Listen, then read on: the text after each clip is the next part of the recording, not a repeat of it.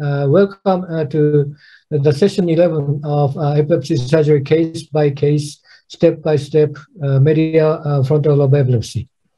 I'm Kensuke Kawai from Japan, co-convener of this webinar. This webinar uh, is uh, part uh, of activities of Epilepsy Surgery Task Force, International League Against Epilepsy, Asia, Oceania. We are trying to reduce the treatment gap of epilepsy in Asian Oceanian region.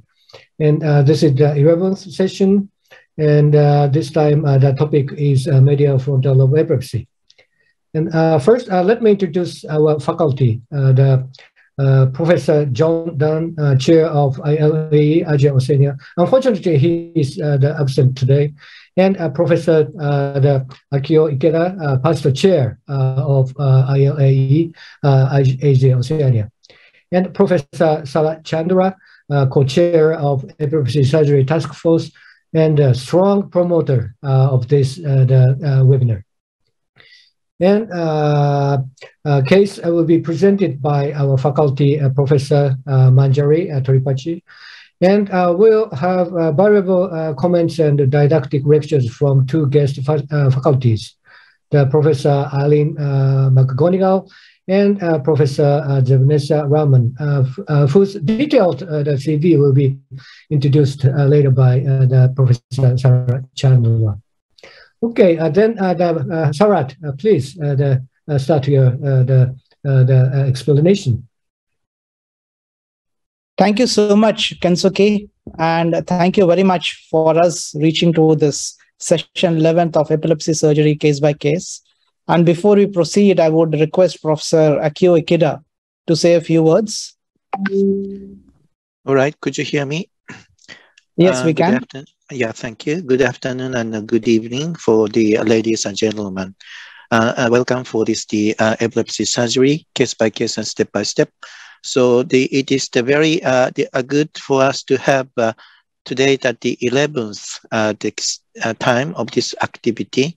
Uh, so far we had the uh, really the hot discussion in the covering the mesial temporal and the lateral temporal, and then we move on to that the frontal. So the that would be in each time that we had a very good discussion with all of us, and then especially a good the the guest, Uh, the uh, uh, the the professor at uh, today's. We are very pleased to have uh, the Professor Ali Magonial and then Professor Zebuna Derama. so we are looking for very much. Unfortunately, for both of you, supposed to be there late at night, but I hope that the we could have the, a very good discussion. And then I hope that you, all of us, including you, have a, a quite good sleep uh, this uh, tonight. So looking forward very much. And then always uh, appreciate that the uh, good coordination and the preparation by the Indi Indian uh, uh, Institute led by that the Professor Sarat Chandra. Thank you very much. Thank you so much, Professor Ikeda. let me share my slides so that I could do the proper introductions. So this is a session 11 for epilepsy surgery case by case and uh, step by step.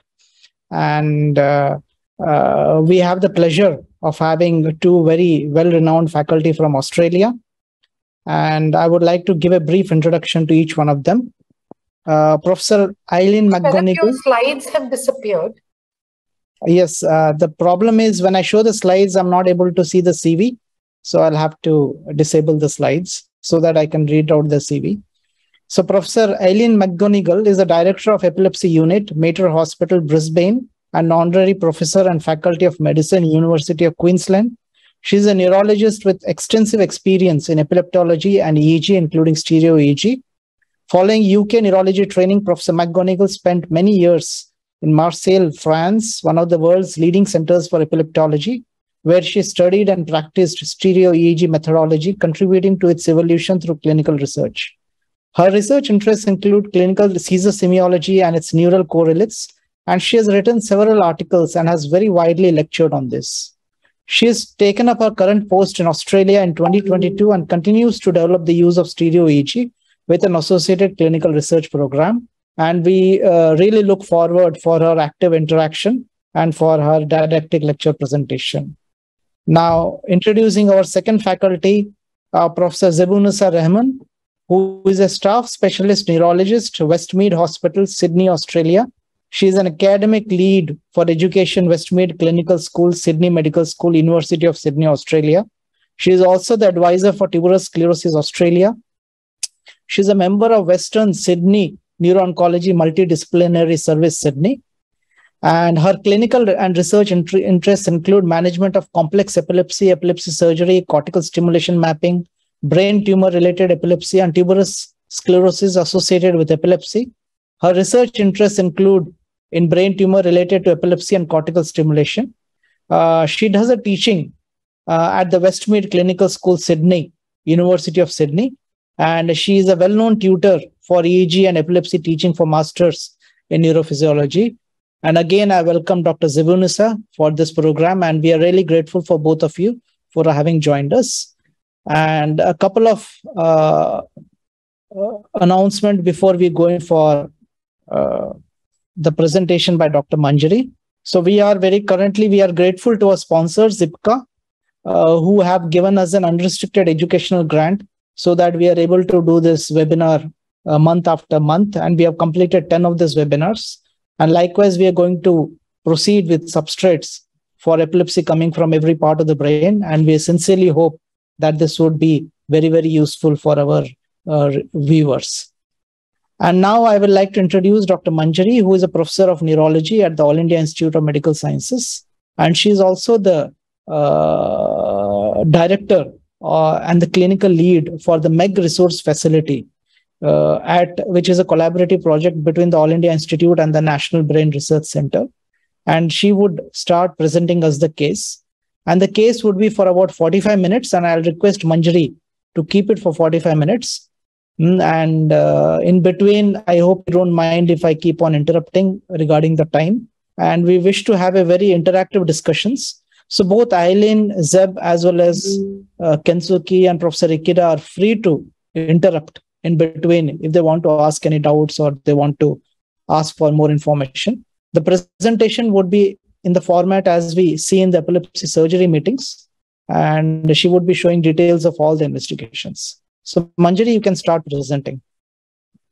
Uh, thank you. At the outset, I'd like to thank Professor Ikeda, Professor John Dunne, and Dr. Kensuke and Sarath uh, to have this series.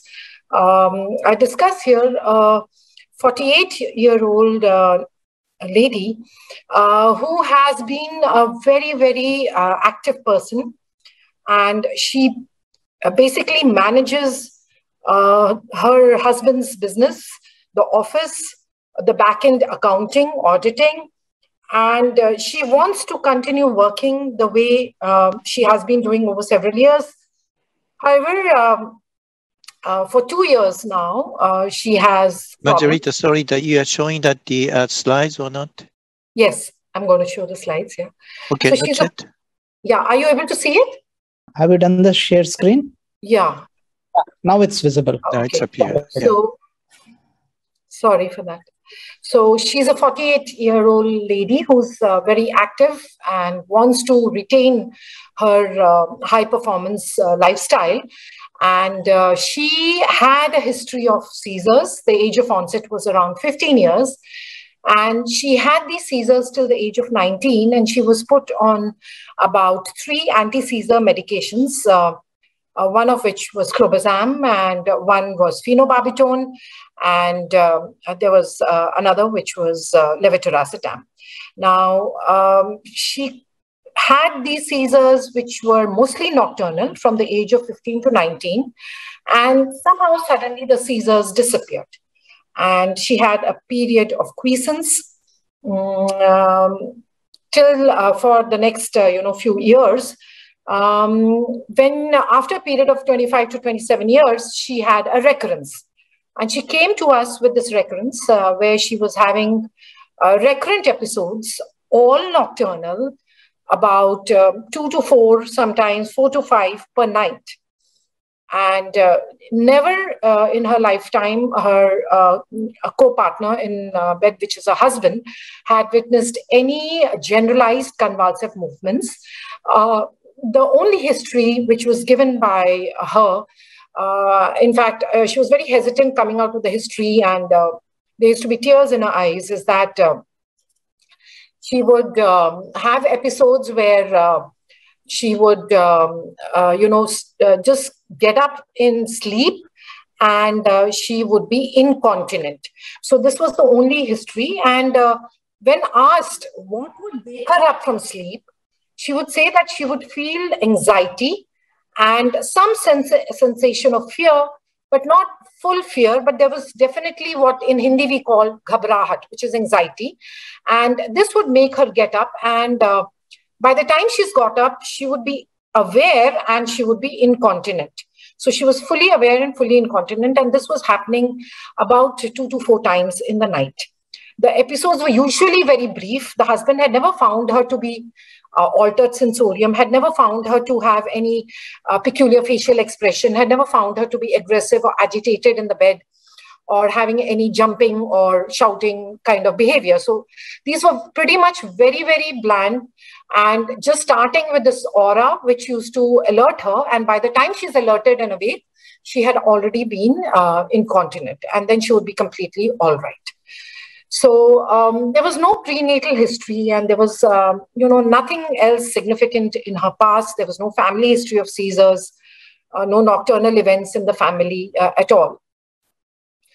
Uh, she was a hypothyroid and she was on medication, and she had uh, a skin condition which is known as lichen planus, uh, for which she had taken various topical preparations.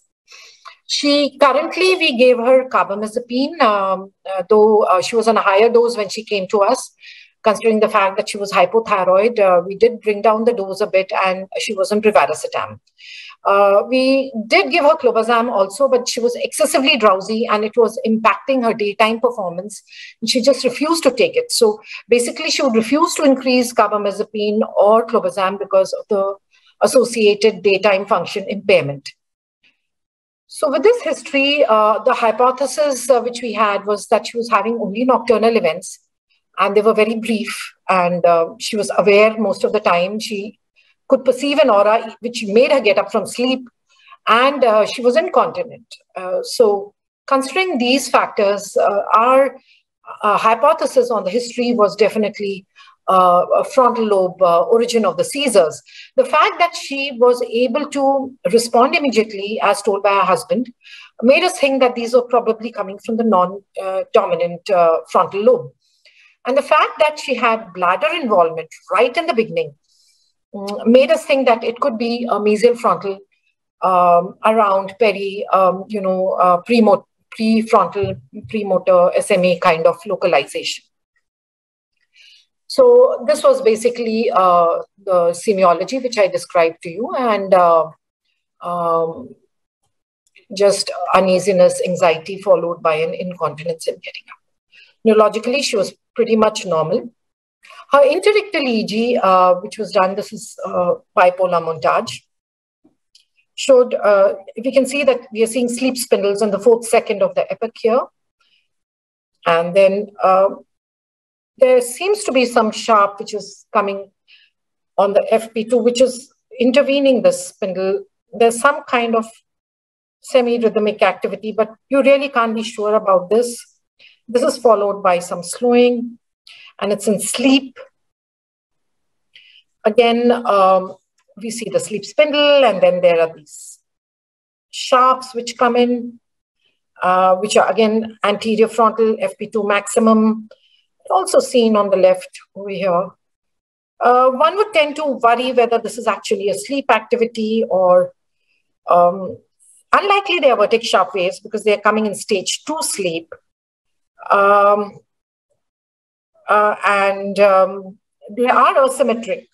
So I would tend to give uh, significance to these, um, uh, you know, kind of sharps which we see mixed with the sleep activity. Um, pretty much again here, we are seeing this is a Laplacian montage, which is again showing a right frontal maximum. So this kind of interictal EEG uh, kind of gave us a little bit of uh, clue again that, yes, this is probably a non-dominant uh, frontal lobe. So I show you the events and um, she's obviously in sleep. She comes to know something is happening. She presses the buzzer herself, the event marker. She marks it out herself. Then she's uncomfortable. She's kind of grimacing, but just a slight grimace. And she knows she's past urine. And that, that is what kind of upsets her the most. Um,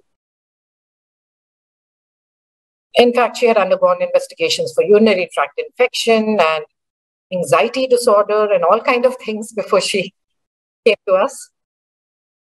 So here she is, and uh, she is past urine. And this would pretty much happen in all the seizures. So you can imagine a grown-up woman who has this, and the staff nurse is testing her.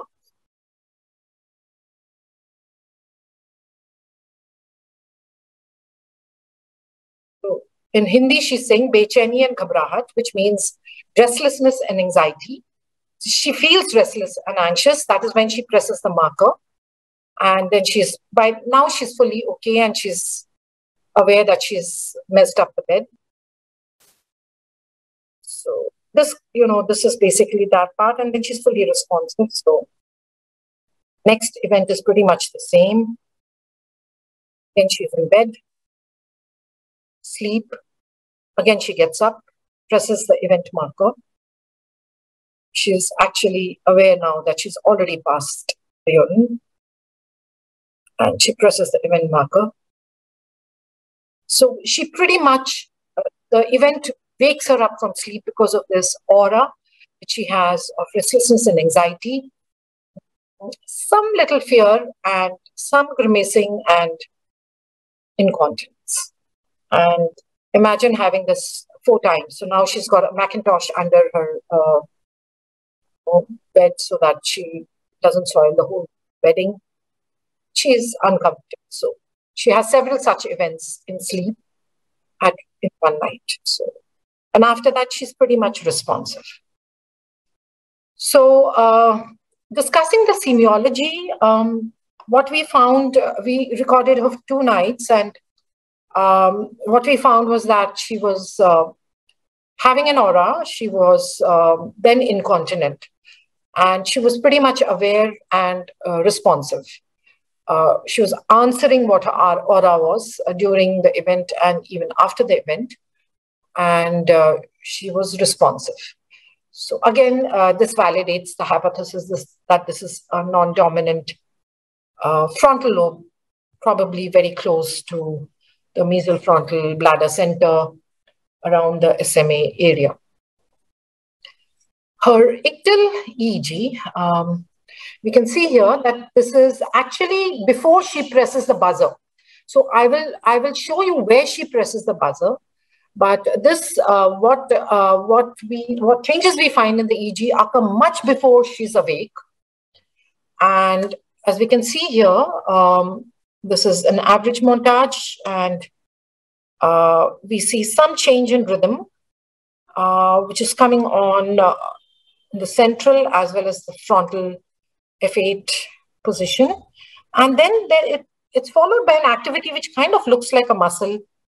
And this is the next epoch where, um, you know, you just find some kind of, she's still sleep asleep. She's not yet awake.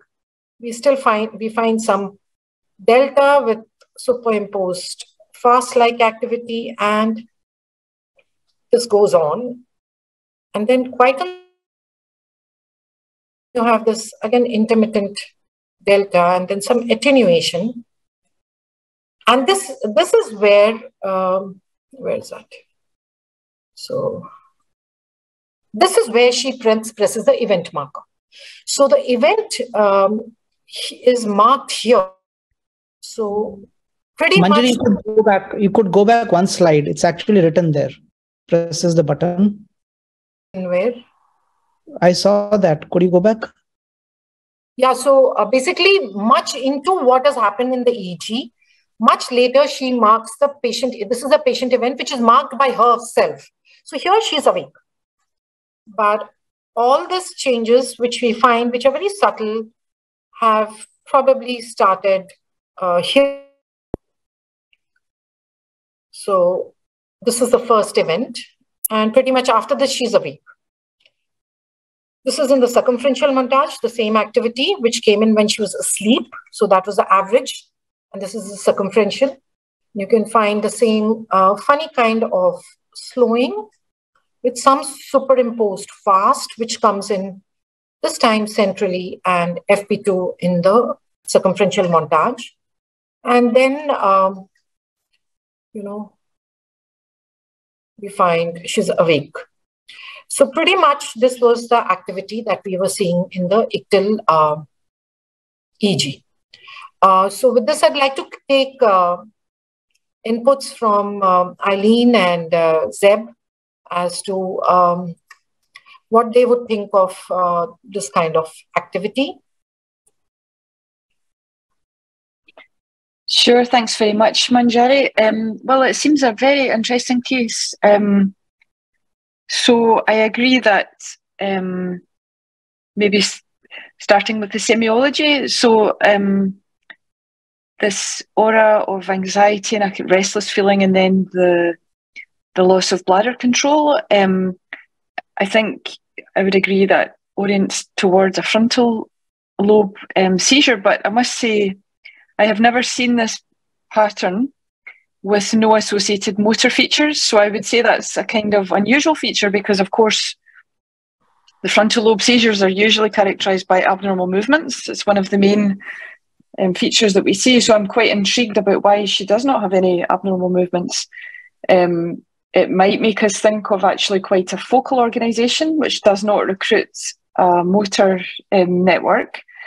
Um, I guess the fact that she has this anxious feeling, which is of course a very common aura in frontal prefrontal seizures, but also extrafrontal localizations, including temporal lobe and insula and elsewhere.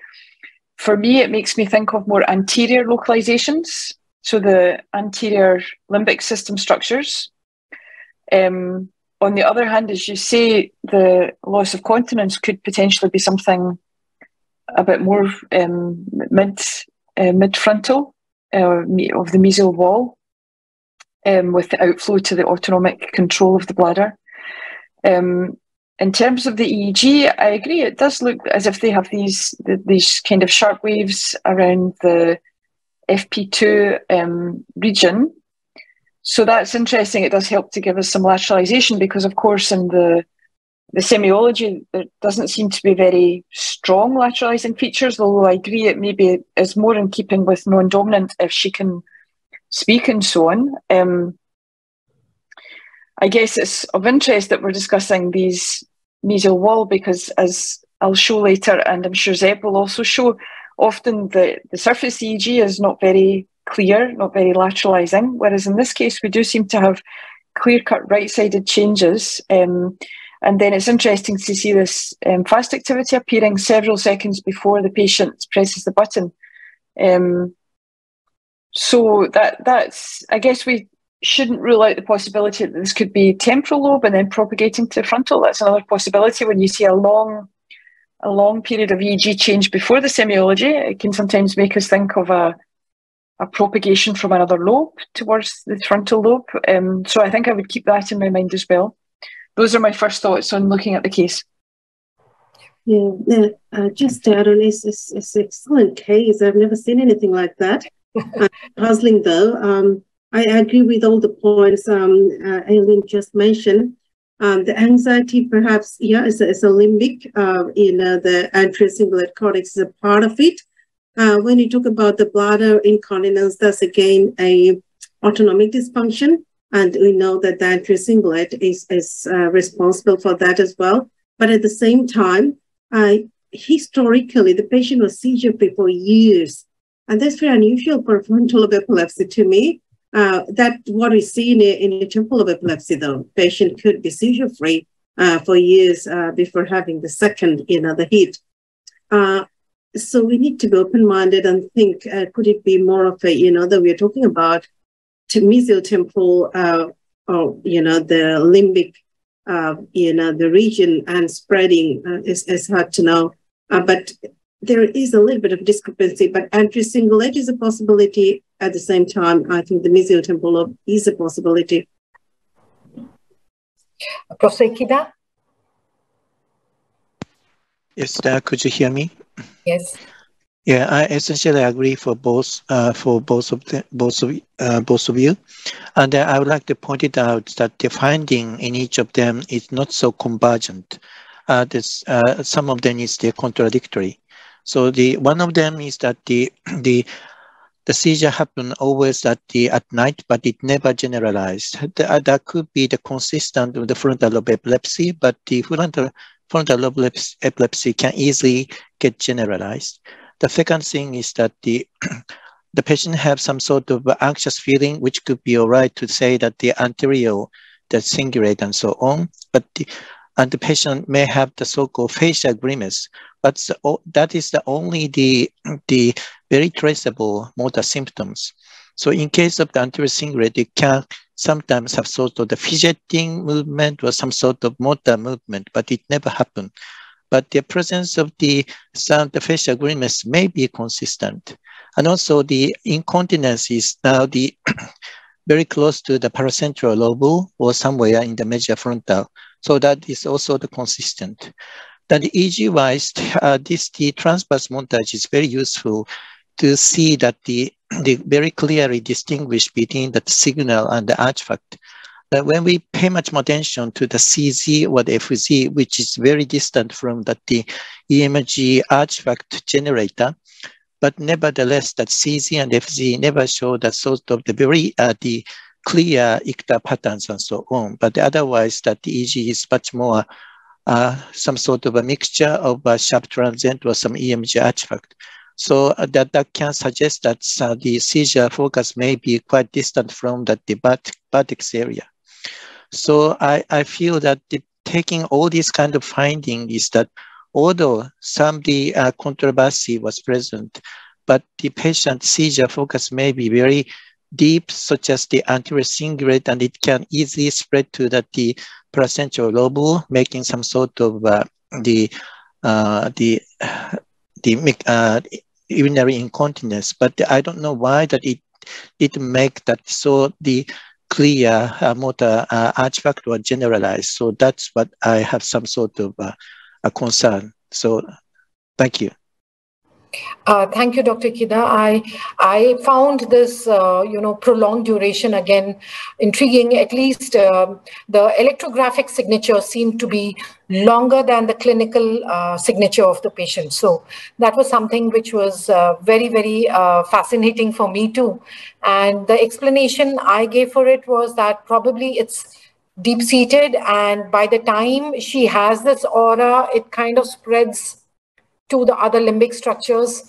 So the aura of anxiety and, uh, and uh, you know, restlessness uh, could be that it's uh, going to the temporal or to the other limbic structures which are causing it. Uh, of course, we can explain everything from the cingulate. So the prominent manifestations seem to be the bladder, and that was one, one which was distressing her. She was uh, uh, for the fact that you know if if she has these four times in the night, every time she has to get up and change, and the whole sleep goes for a six, the husband's sleep goes for a six, and the next daytime performance is totally uh, you know uh, difficult for her to function in the office and carry out. Uh, because of it, she was getting irritable during work hours uh, at the workers, etc.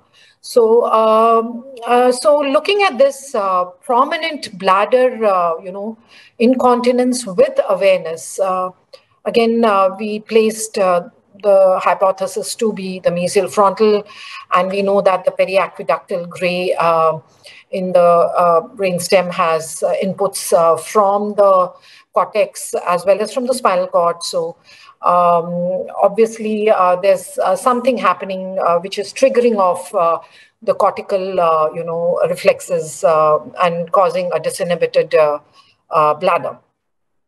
Looking at from where it could be coming from, we know both grade group three and group four of Bonini's do have the anterior cingulate involvement and uh, each one of them has very typical manifestations, which we've gone through in the previous webinars.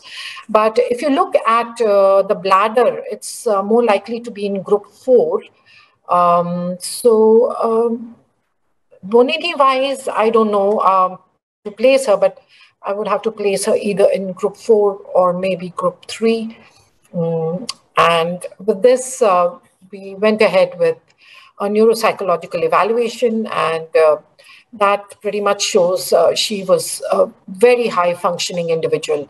And uh, in fact, uh, she was, uh, all her uh, performances were pretty good. Her verbal learning memory were intact, visual spatial functioning was intact, her attentional process was intact. And of course, she had some anxiety and depressive features over this illness uh, associated. Um, which sequence would you all like to see? I have coronal T1. I have uh, axial T1. I have Saj. Um, I suggest I suggest you run all of them at least once okay. so that the, the, viewers can have a look at that. Okay. okay so I go with coronal T1.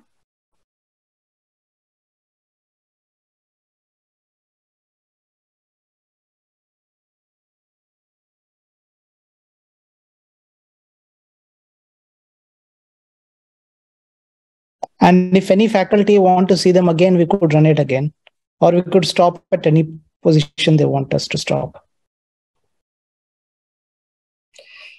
So this is where I would stop. So uh, we do see something here. We have to see whether it's ratified in the other sections. So I go to the next axial.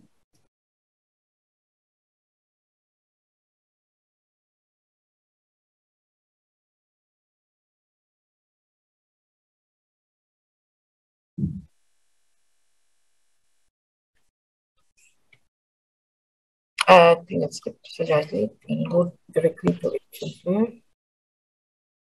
That's pretty much evident.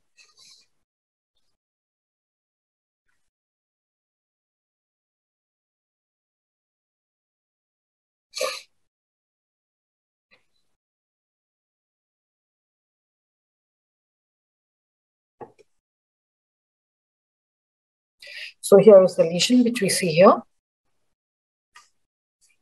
And we see it in one section. So it starts somewhere here. You can see it starts somewhere here. Even before that. sagittal FLAIR? Yeah. Thanks. Just show the coronal, then the sagittal.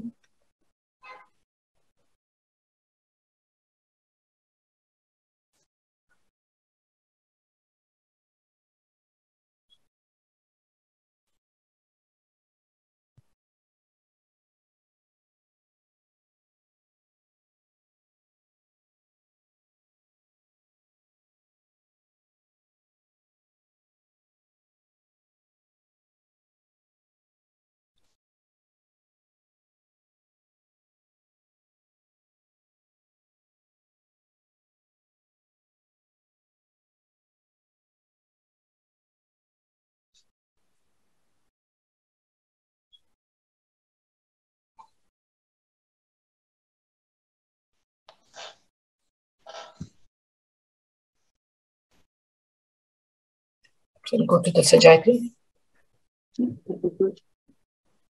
Manjari, does she have some other um, areas of increased signal apart she from does the main have, She does have small um, unidentified bright signals which are seen uh, as we could see.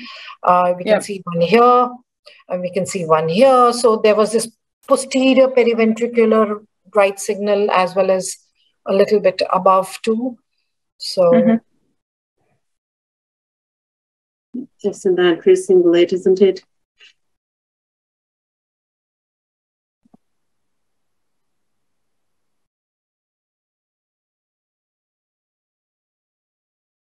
She doesn't have any other, uh, you know, uh, signals along the corpus callosum, which you would expect in a multiple sclerosis or demyelinating lesion. Uh, there's not been any other history which is uh, suggestive of vision loss or paraparesis or so yeah, so there was one UBO in the frontal, which can be seen here, and there were two at the posterior, very small uh, lesions, but nothing like Dawson's fingers or. So here you can see uh, the lesion can, again. Can I ask one question? Yes. Sir. Uh, that I understand that the patient initially had the uh, seizure for uh, two years, but afterwards, after 19, the patient didn't have any seizure uh, until the, the 27. Then it's now recurred again. So even though some medication worked pretty well, but I think that the he has the uh, quite a big difference of the seizure-free and then the seizure-active periods. So that may usually in general suggest that the, uh, the patient like this can suffer from some sort of uh, self-limited autoimmune epilepsy. So I just wondering that the patient or some the uh, the family history have some sort of autonom uh, uh, some she, the, she did, the disease like this. She didn't have hypothyroidism, but she had her TPO antibodies were normal. And uh, in refractory epilepsy, particularly if there is psychiatric comorbidity like anxiety, and uh, we do our autoimmune workup, which is uh, generally a VGKC, CASPR, and LGI1. So these three with the TPO were negative for her. So since she suffered from the hypothyroidism, I just wondering that, that she may have some sort of fragmented feature of so-called Hashimoto encephalitis and so on. That, that, that is my just some trivial concerns at this moment. Okay. So the thing is that there were no triphasics in the EEG. There was no myoclonus. And uh, yes, it is intriguing that she was quiescent for so long. Uh, but when you went and asked her retrospectively, uh, really, if she didn't have any bedwetting uh, you know, four to five episodes per night.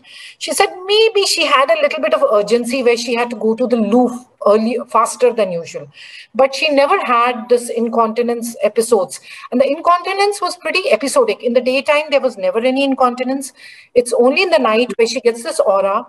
And then she has the incontinence, which is an aware incontinence. So um, it's considering the fact that she was on carbamazepine for a long duration for all these years, she was on carbamazepine. That is how we explained her hypothyroidism. And she was like on 800 milligram BD when she came to us. And we had to reduce it because of the hypothyroidism. And uh, the thyroid did correct itself. There was also some hyponatremia, which corrected itself because of the carbamazepine. So pretty much uh, the hypothyroidism we explained rather from an autoimmune perspective to be a drug-induced perspective because of the long duration, several years of carbamazepine use. So there are a couple of questions coming in from the audience. So one question is, the, is there a coexistent left MTS? So could we run the call sections again? Yeah, I thought there is some increased signal as well hmm. to the left.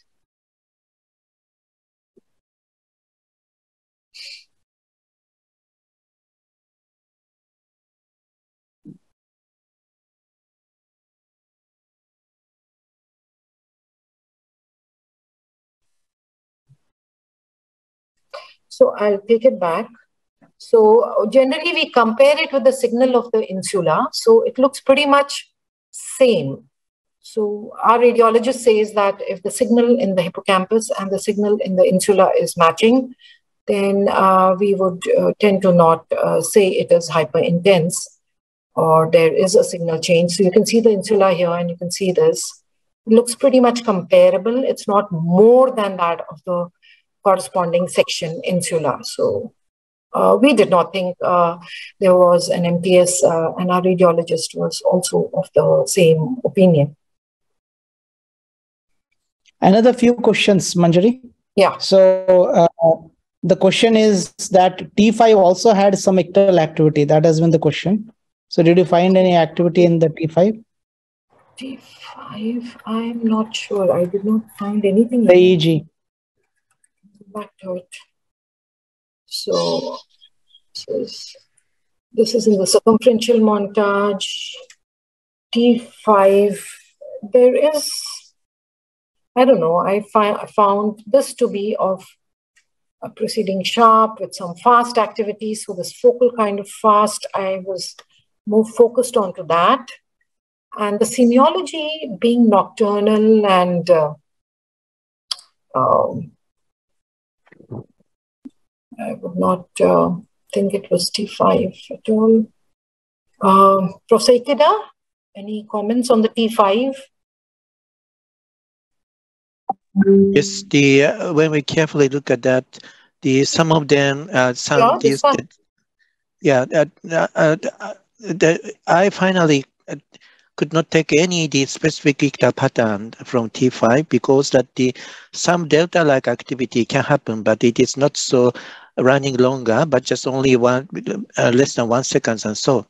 And then the uh, either in the uh, right frontal or the left frontal or the uh, the temporal in the left and right, I could not find that any specific finding at this moment. Yeah. Yeah, so remember she's in sleep, uh, and in sleep you would find slowing. So, um, you know, you uh, would have to take that into account. So, I would say that there is slowing here, and there is slowing here, and it's seen on both sides. As Professor Ikeda says, I would not put uh, cognizance to that being an ictal rhythm. Yeah, but it's, it's something which uh, has been noticed, and that's great. So, um, yeah. Um, Yeah, I, I think in order to avoid that any misleading, uh, first of all, we had better take that the any finding as specific as possible. But Yeah. if we fail, that we could uh, the makes that the our division to be uh, more sensitive. So the, the comments could be the very important for the second trial to see that the any finding because that we are, yes. are lacking of that the any the uh, specific finding at this moment. So that's what I feel at this. So yeah, so agree. Manjari, and- one more question. One more question is Have a radiologist excluded primary or secondary vasculitis? So uh, here she has no history of episodic headaches, um, migrainous or non-migrainous. There's no history of joint pains. Uh, there's no history of any other stroke-like episodes, um, any other uh, you know visual loss or oral ulcers or um, arthralgia, joint pain, joint swelling, skin rash. Uh, you could think primary vasculitis, but then uh, why would there be episodes? And uh, these episodes would be lasting for a few minutes or few seconds. If you look electrographically yes they last for about two minutes. But if you look at semiology they uh, the history as well as what we see in the video EEG lasts for hardly 15 seconds and only nocturnal. So that is something odd. Any lesion which is there in the mesial frontal structures, whatever the etiology will be. Now, here the shortcoming here is that we do not um, have, uh, as we go on to the case, we'll uh, see that um, there were certain uh, limitations as to why uh, we needed to do a conservative approach for her. So her video EEG was done in the year 2020. And we investigated her for autoimmune workup. We did send her a basic autoimmune workup, which was negative and her thyroids were hypothyroid. So after 2020, when she was told that these episodes are probably coming from the uh, mesial frontal structures and they may need to be, you know, uh, either removed or investigated further, she vanished for two, two years, though the episodes continued. So her video EEG was done in 2020. She was so afraid for undergoing any surgery or any kind of further workup uh, that uh, she um, disappeared for two years. And then probably um, she's, uh, she actually went around looking for opinion at other local hospitals and other hospitals in India. And uh, she came back in 2022 to us with worsening of these episodes. And that's when, uh, you know, uh, we did her further investigations. So you can see that. So in the interim, she never had any other, no stroke-like episodes, uh, no uh, prolonged neurological deficits, which one would expect to see in a vasculitis. So again, you see the hypermetabolism, which came in there. So pretty much this area compared to this area. Yeah, I, I totally agree. I totally agree. So when she reappeared after two years, we said, okay, let's work up further. And this was the PET, and this is because it's useless doing a ictal spec. She would never have the event in the morning hours, and she won't sleep in the morning hours. And the event was so brief, there's no way you could do it. So, Manjari, sorry to bother you. Yeah. Now, um, during the monitoring, did you stop all the medications? No, we didn't have to. You didn't stop any medication. No. I just uh, stopping the medication would give you a different semiology. Yes, she, she was yeah. she was very resistant to us doing anything. Uh, yes, what I did was I tapered her carbamazepine. As I told you, she was on a very high dose. I believe it was either 600 milligram twice a day or 800 milligrams twice a day. So when we found she's hypothyroid and we were monitoring her, we did reduce her carbamazepine, which uh, she didn't want to increase again because she found she was much more alert and not drowsy. So we sent her on 200 milligram BD after the monitoring. So yes, we did reduce her carbamazepine, but we never stopped her anti-seizure medicines.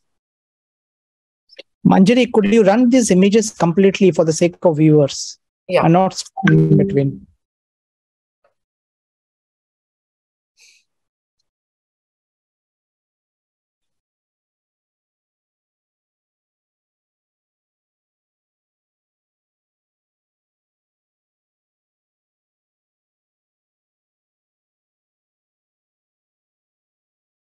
Yeah. So we can so see. we can see the hypermetabolism there also. Hmm. The sagittal. Sagittal also showed the same. Yeah, could you show the sagittal also, please? Because this goes for recording, so we need to. So just run it once.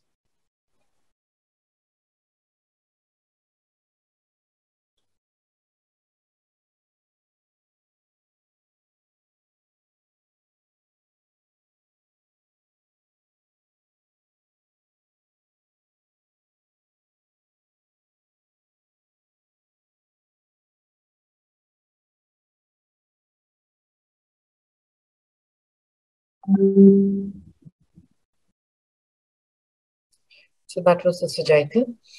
Uh, the magnetoencephalography, uh, she didn't have any event, so it was an interictal uh, meg.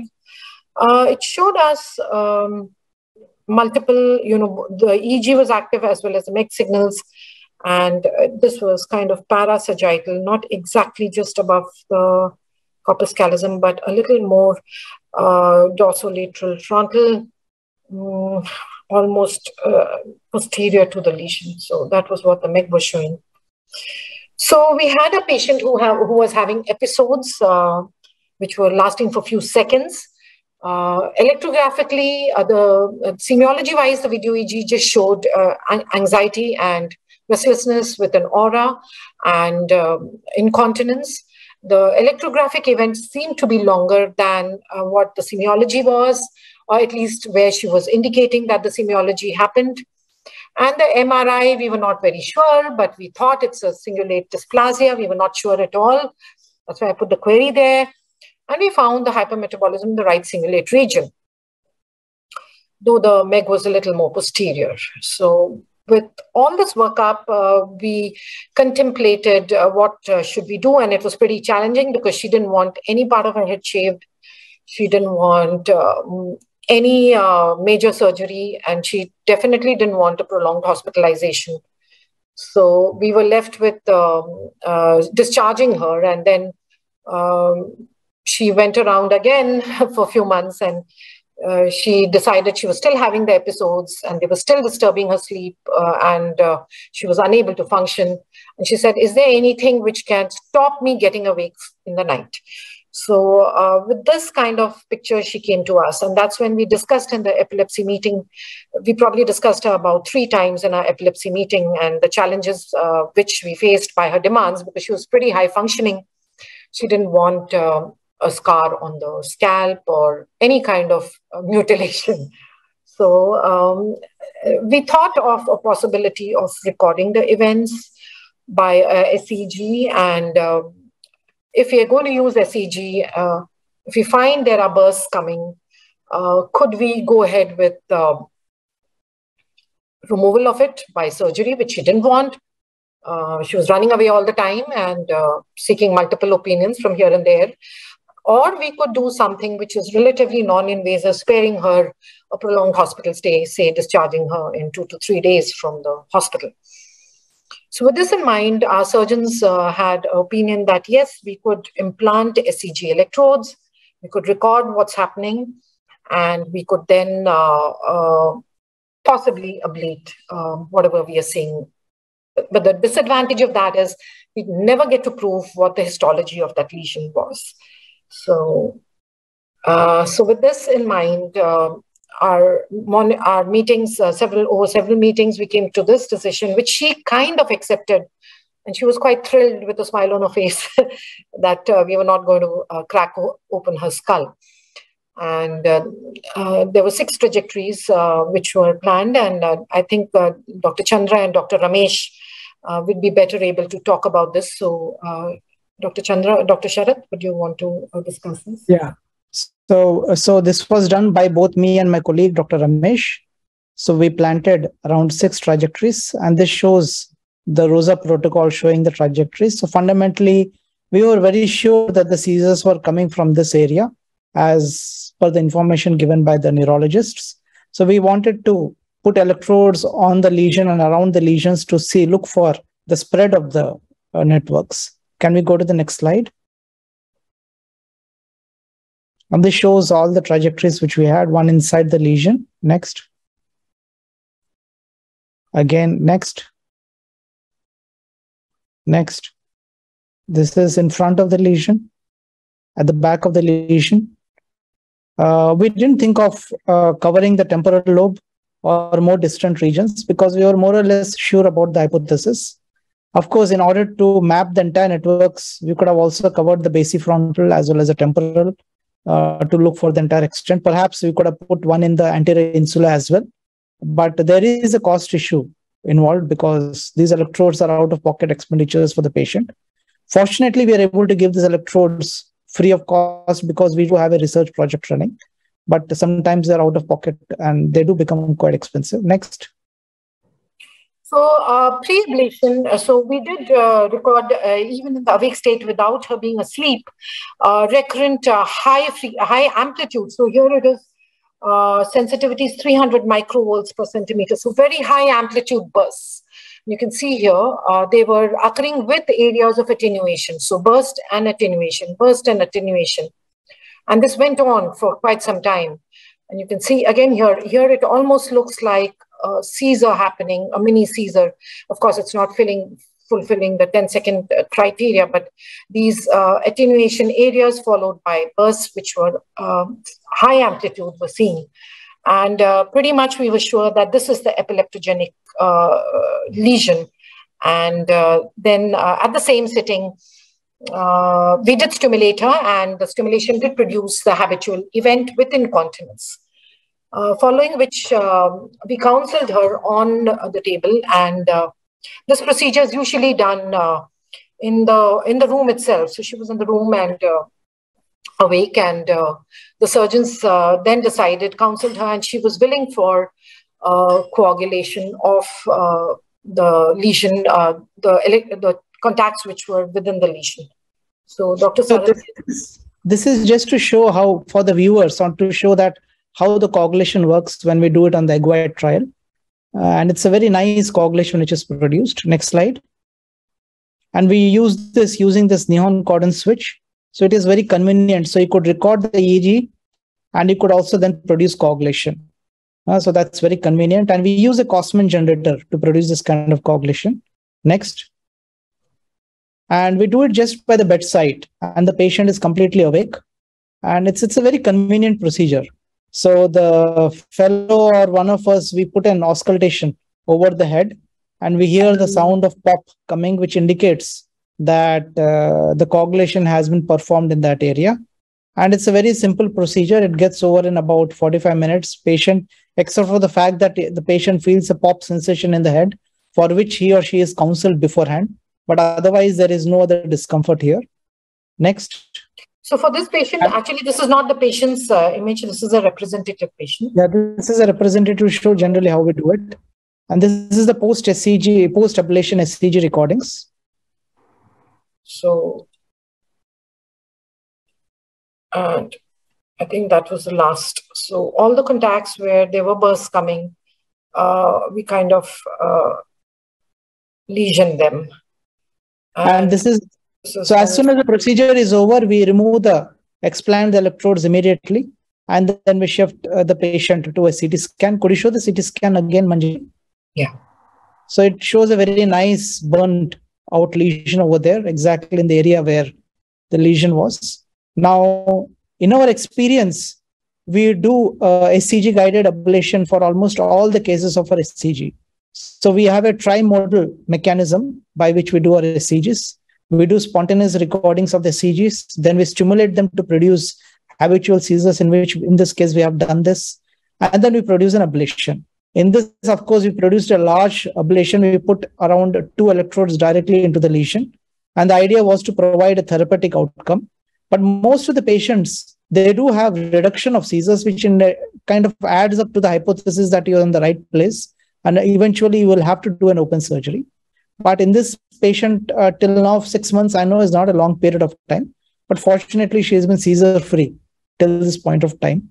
And if the seizures do occur, we could always go in and do an open surgery. And I think she may be more willing to do now that she has seen that she has had a good degree of seizure freedom. Or we could again go and ablate the area around it. That also could be an option.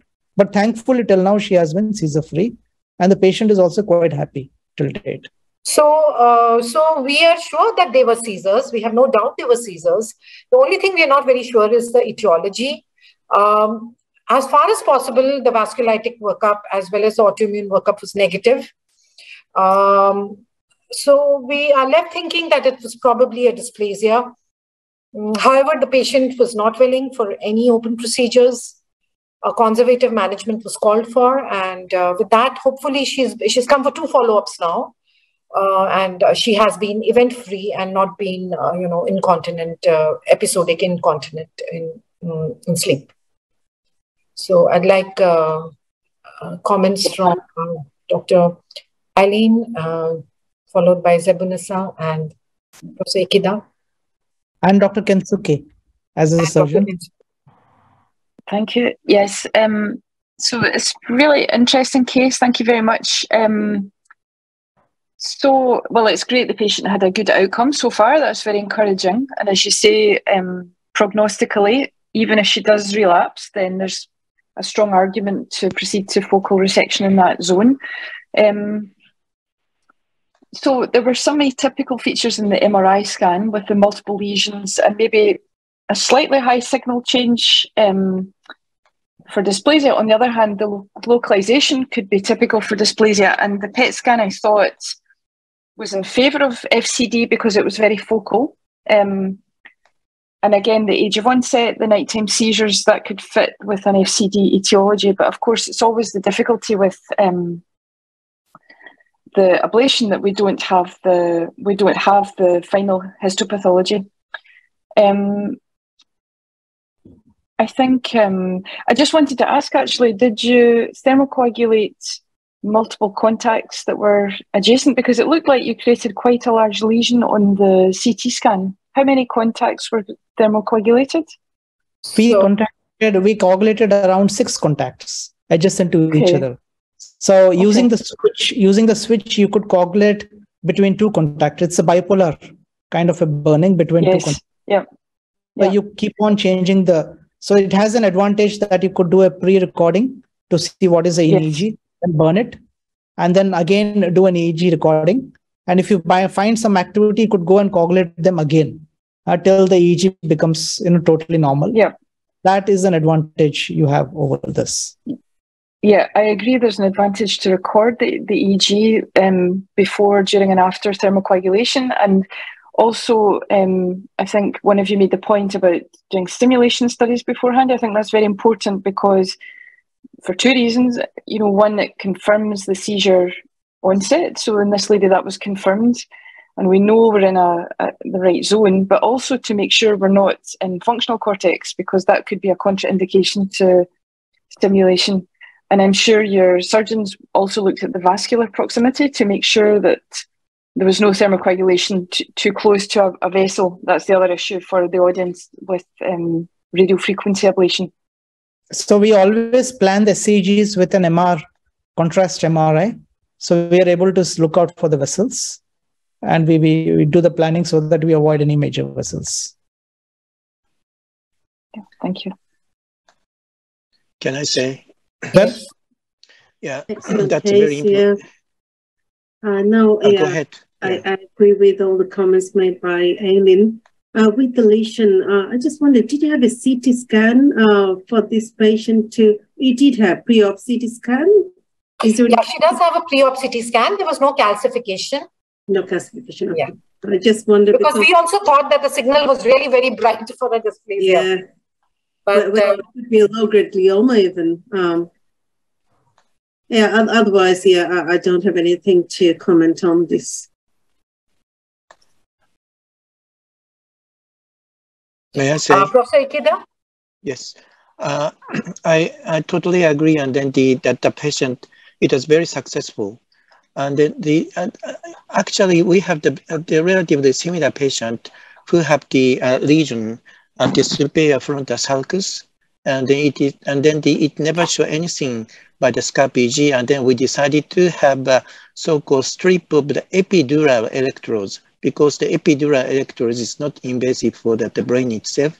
And then we uh, recorded just only two days and three days to see that the, as opposed to the scalp EEG, epidural strip can pick up that the uh, some ictal or the interictal activity. And that was the successful. Then the, we now and the go further, go to that some the uh, invasive resection and, and so on. So the uh, if the patient in general, if the patient is very much worried, worried about that the uh, the direct invasive uh, the SEEG, uh, the Japanese patient chosen that the epidural electrode. That is my the experience in the Japanese patients. Thank you. Uh, can I say something? Uh, yes, yes, please, Dr. Ikeda. Uh, okay.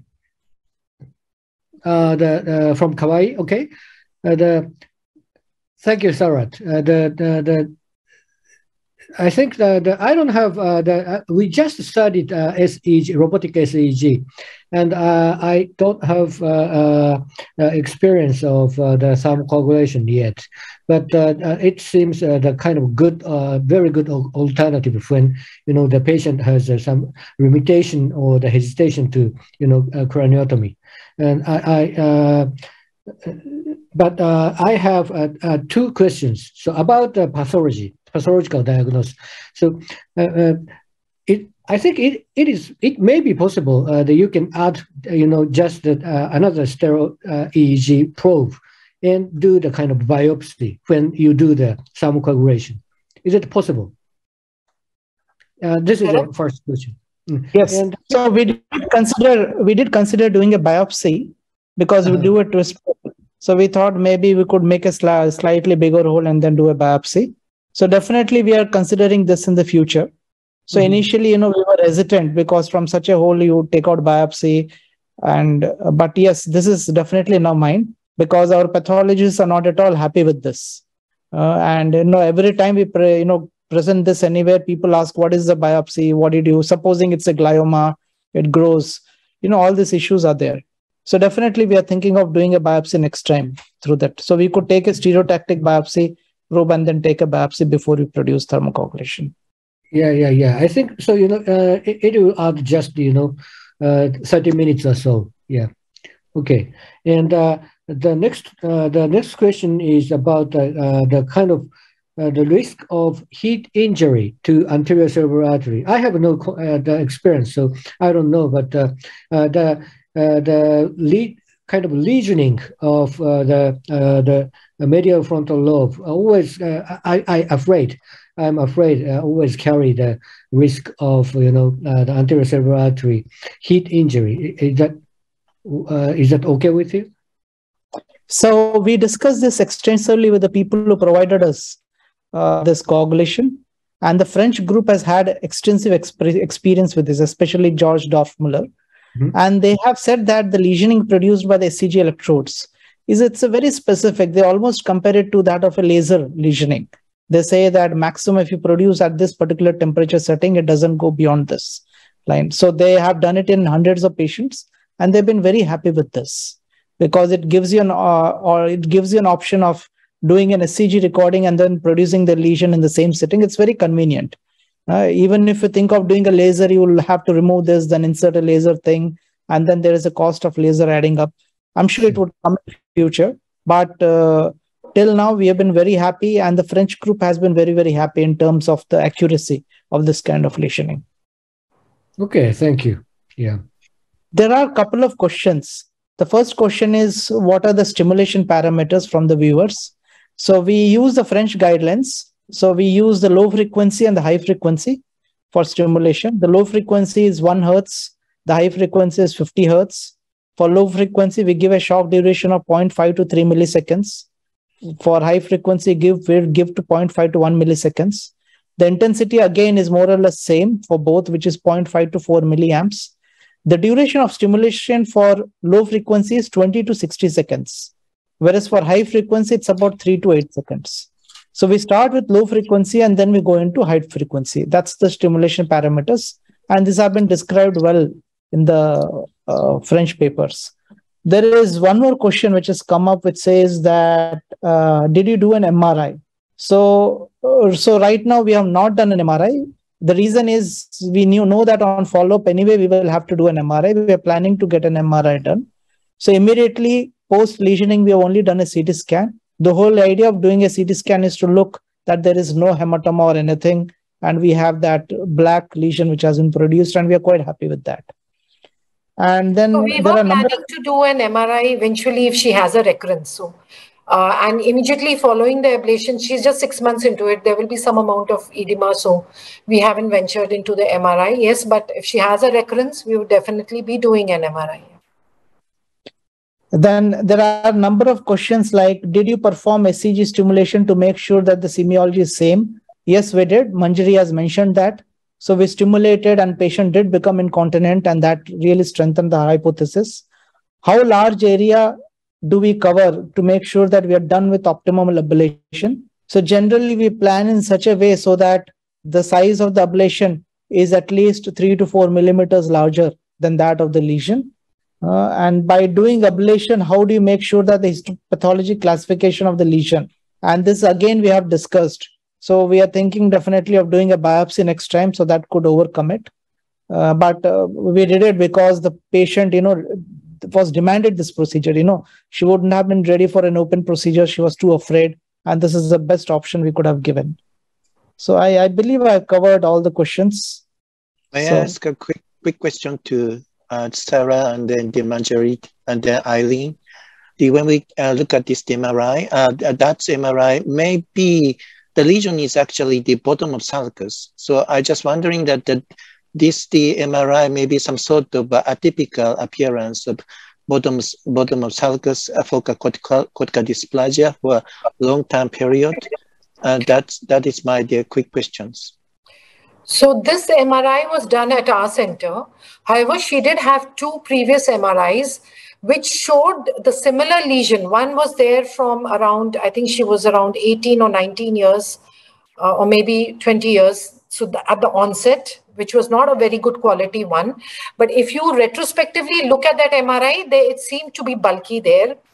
The FLAIR wasn't done in that MRI, so we really don't know it was an improperly conducted epilepsy protocol or not even an epilepsy protocol. The second MRI she had about two years back, which again showed the same signal and the same uh, bulky, uh, you know, uh, gyrus there and uh, to me, it looked more than a bottom of sulcus. Uh, it looked, the, the gyri was broadened and uh, different from the corresponding on the left. So it looked like there was a deformity of the gyrus itself, um, even in the previous MRI. Manjari, there is a question. I think it may be important. Somebody has raised an issue that post RF ablation of SEEG showing BS pattern. I don't know what is that. Would you like to comment? A suppression pattern, yeah. so there okay. is, uh, in some of the things you see a bird-like activity, which is a brief intermittent uh, ictal, but then uh, we did ablate those also. So uh, yes. we did selectively, uh, you know, ablate around six contacts which were within the lesion and maybe a two or three millimeters around it. And uh, yes, there was some burst suppression like activity. Also, during the recording itself, we could uh, see a burst attenuation actually. not a suppression because your amplitudes were like our amplitudes were 300 microvolts per uh, this thing. So you really can't comment whether it's attenuation or a suppression. I would like to call it an attenuation rather than a perception. So, so thank you. I think we have had a lot of questions because of the interesting manner in which uh, we managed the case. And then thank you so much to all the faculty for having actively joined this discussion. So now uh, may I request uh, Professor Aileen McGonigal, McGonigal, I'm so sorry with my pronunciation, to start our presentation. Yes, thank you very much, Sarat. Um, so thanks so much, Manjari, for your beautiful presentation, and I hope this next part of the session will be very complimentary. Um, so I will discuss the role of medial structures in frontal lobe epilepsy and describe some observations from SEEG. So as you can see now, I work in Australia, but I spent many, many years working in France with the team in Marseille. So I've been very lucky to have a lot of experience with SEEG in that team. Oops, sorry. Let me just. So this is the structure of the talk. I thought I would first um, give some uh, thoughts about the anatomy of this medial frontal region and think about its relevance for um, frontal lobe epilepsy.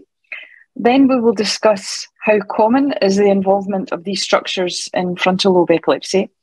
And then lastly, I will um, give some examples of with video of semiologic patterns thinking about this rostrocaudal gradient, the anteroposterior gradients in the frontal lobe. So we know that the frontal lobes are the largest of all the lobes, accounting for up to 40% of cortical volume. And there are significant um, amounts of cortex which is buried. And of course, we also have this very, very complex, oops, sorry, long and short uh, connectivity um, which, oh, I'm sorry, excuse me. Let me just, I'm, I don't know why my slides are jumping so fast. Um, this complex connectivity gives rise to the rapid and widespread propagation of seizure discharges with rapid evolution of complex clinical signs. Excuse me, let me just, I'm so sorry. Let me just check something on my PowerPoint because it's jumping very fast. Let me just check that. I'm so sorry. Uh, Aileen, you could check for slide transition. So if it's an automated Yes, exactly, mode. exactly. I'm just changing that. I'm sorry. Let me just, because otherwise I'll have to speak too quickly. Okay, I think that should be fine now. Let me go back to share again. My apologies, everybody. Okay, so um, I was saying that the frontal lobes are characterized by very complex long range and short, uh, both cortical and subcortical connectivity, so connections within the frontal lobe, connections between the frontal and other cortices, and then connections to subcortical structures. And this helps to explain the very rapid and often widespread patterns of propagation that we see in frontal seizures, with indeed very rapid evolution of often complex uh, clusters of clinical signs. And so, thinking of clinical epilepsy, it's helpful to divide this medial frontal wall into its motor segments, its premotor segments, and then more anteriorly, the prefrontal segments. And we'll mention again this idea of rostral caudal gradient going from the most rostral anterior parts of the frontal lobe back to the most posterior and precentral parts. And you'll see that that's relevant to thinking about semiology and seizure patterns. So within this medial frontal wall, the anterior cingulate gyrus is a very key structure. And we're going to be hearing a lot about that, including in the next talk. So um, briefly, we have these um, key uh, Brodmann areas, uh, area 24, area 32, and also area 25, which, you know, we, we tend to know less about in terms of epilepsy because we less often explore this region. And what's important to remember is that we can think of these two main axes of connectivity. So one is the rostrocaudal, so along the length of the anterior cingulate, we have this connectivity where we can see propagation, but also lateral mesial. So lots of short fibers going from the lateral frontal wall towards the medial frontal wall at each level along this axis. And thinking in terms of um, the, the, the surgical anatomy, so Talairach's atlas, indicates that the VCA line, the anterior commissural line, divides the posterior mid-cingulate, which we sometimes call um, Brodmann's area 24, the posterior part, from the more anterior uh, middle cingulate. And then area 32 is really a separate um, connectivity system. So in a kind of simplified way, we can think about the area 24 regions really um, belonging to the motor system, so having a role in cognition and motor planning, whereas area 32 belongs to the limbic system, and that was mentioned earlier when we discussed the anxiety aura for the previous patient. So um, reflecting a role for emotion and autonomic features. And this will be discussed further in the next uh, talk as well. So we did look at some EEG in the previous case. Often, in fact, in these medial frontal cases, the surface EEG can be very difficult, often midline, often involving the vertex electrodes, and very often non lateralizing. This can be a challenge when we're trying to decide is this right or left hemisphere. And I'll just briefly mention this paper by this is a, a, a quite a historical stereo EEG um, study by the original authors, the original creators of EEG, um, Bancaud and Talairach from Paris. And very interestingly, they were able to perform simulation studies of the medial frontal wall, and they found they could actually trigger seizures which were like absences by using low frequency stimulation, whereas they could trigger generalized tonic clonic seizures by using high frequency stimulation. And their point was that they really showed these very widespread and bilateral synchronous discharges, and they considered that this was due to the very particular and tight connectivity of this medial frontal lobe um, structures with a role for the corpus callosum, which has very short connections with few synapses, so discharges can very rapidly um, express bilaterally. So how common is involvement of the medial frontal structures? So we just discussed quite a lot about focal cortical dysplasia. And in fact, this is a, a fairly old paper from uh, over 20 years ago now um, from a team in Paris who studied the use of SEEG in focal cortical dysplasia. And you can see here that of this series of 28 patients, about one third had frontal lobe localization. And you can see that all of those involved the mesial wall. So this is a, a common occurrence. The FCD commonly involves this medial frontal wall. And if we look at a much bigger series, now this is not an SEEG um, series, but it's a, a very, very large multi-center study that collected cases of FCD from around the world. They had over 500 cases in total. And this is very nice because it shows us really the distribution of these, um, these abnormalities. So you can see there's a predominance of frontal pole, of superior frontal sulcus and temporal pole. But when the authors um, broke down the types of FCD, you can see I've, I've outlined here this particular localization of the FCD type 2B, so the classical Taylor's type FCD.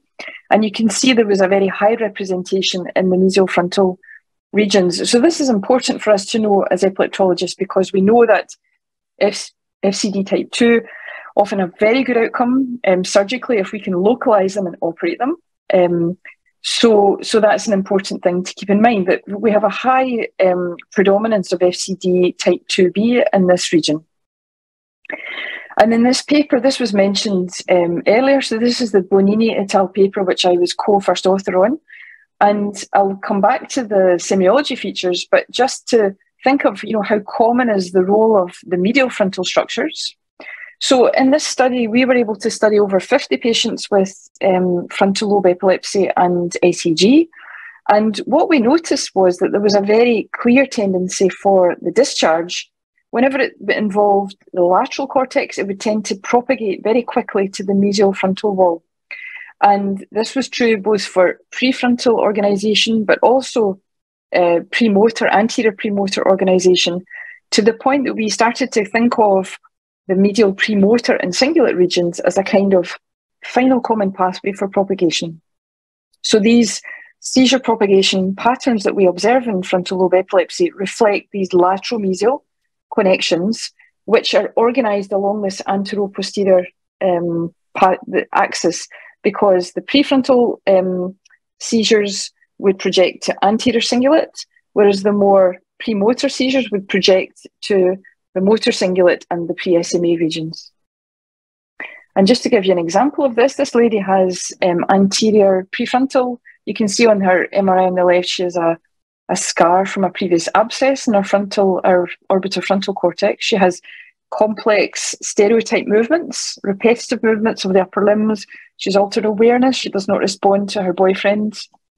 And just to briefly look at her SEEG, you can see on the left of the page a pattern of preictal spiking. This involves orbitofrontal and frontal pole um, structures. And then there's this transition in the middle of the page. We see a synchronous spike with a slow wave, and then this fast gamma band activity superimposed which also involves the anterior cingulate. And in fact, the semiology only begins a number of seconds later, about eight seconds after the electrical onset. And you can see here this is characterized by this slower discharge involving the anterior cingulate. So, you know, the, the, the whole organization of the seizure only expresses clinically once the seizure projects to the anterior cingulate with a slower uh, discharge. And this is also a reminder that this, the semiological output of a seizure depends not only on the initial seizure organisation, the seizure onset, but also the early spread network. This is a key concept within SEEG work. So for the last part of the talk, I'll just go through some examples of the semiology, and that will hopefully be completed by um, Zeb's talk, which will follow. So we'll think about this rostrocaudal gradient. So I'll just go back to this paper, which was mentioned before. So this was a study we did looking at 54 patients who all had frontal lobe epilepsy. They all had SEEG. We looked at all of their seizures. So it was quite a detailed and quite a long study where we learned a lot from these. And you can see on this, um, this diagram here, along the horizontal axis at the top, we have listed the brain region. So these go from the left, the most uh, precentral um, regions, followed by premotor and then prefrontal. So it goes along an axis from the most posterior part of the frontal lobe towards the most rostral and most anterior parts here. And then on the vertical axis are the semiological features. So we listed for every seizure and we scored according to their intensity and the earliness of their occurrence, the different semiological features. So from the top of the list, we go from the most elementary motor signs, clonic jerks, versive signs, tonic posture, and so on, down towards um, more kind of primitive um, and non-natural looking uh, complex behaviours, often characterised by proximal movements and tonic signs associated, down gradually towards the most naturalistic and complex behaviours, including emotional signs and social interaction and so on. And we were able to demonstrate this very nice correlation between clusters of brain regions and clusters of signs. And this was very much in keeping with the current neuroscience thinking on the organisation of, of um, cognition and motor control within the frontal lobe. But it was the first time this had ever been shown for epileptic seizures. And then I'll just mention this paper, which came out this year. I think this is a very nice paper by colleagues in Italy. And they looked at a, seizure, a series of 57 patients. So they really wanted to focus more on the cingulate cortex. I think, you know, following on from our work in the whole of the frontal lobe, they were really looking in detail at the anterior cingulates and the posterior cingulates as well. So they had 57 patients. They did not all have stereo but many of them did, and the others were um, cured after surgery. So I'll just show you a couple of tables from this paper, but I encourage you to read the paper, which is published in Neurology. Um, so, for example, they were able to look at um, the patient's descriptions of their semiology. So, actually, interestingly, nearly all the patients had some kind of subjective sign. I think that in itself is quite an interesting observation.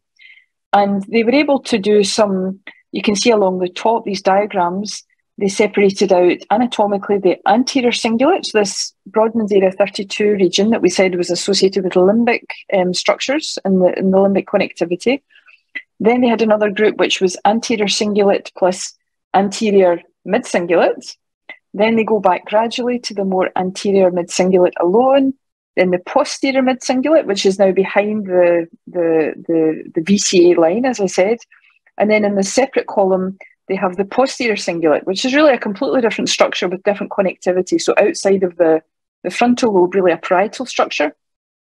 um, connected to the, the mesial temporal structures.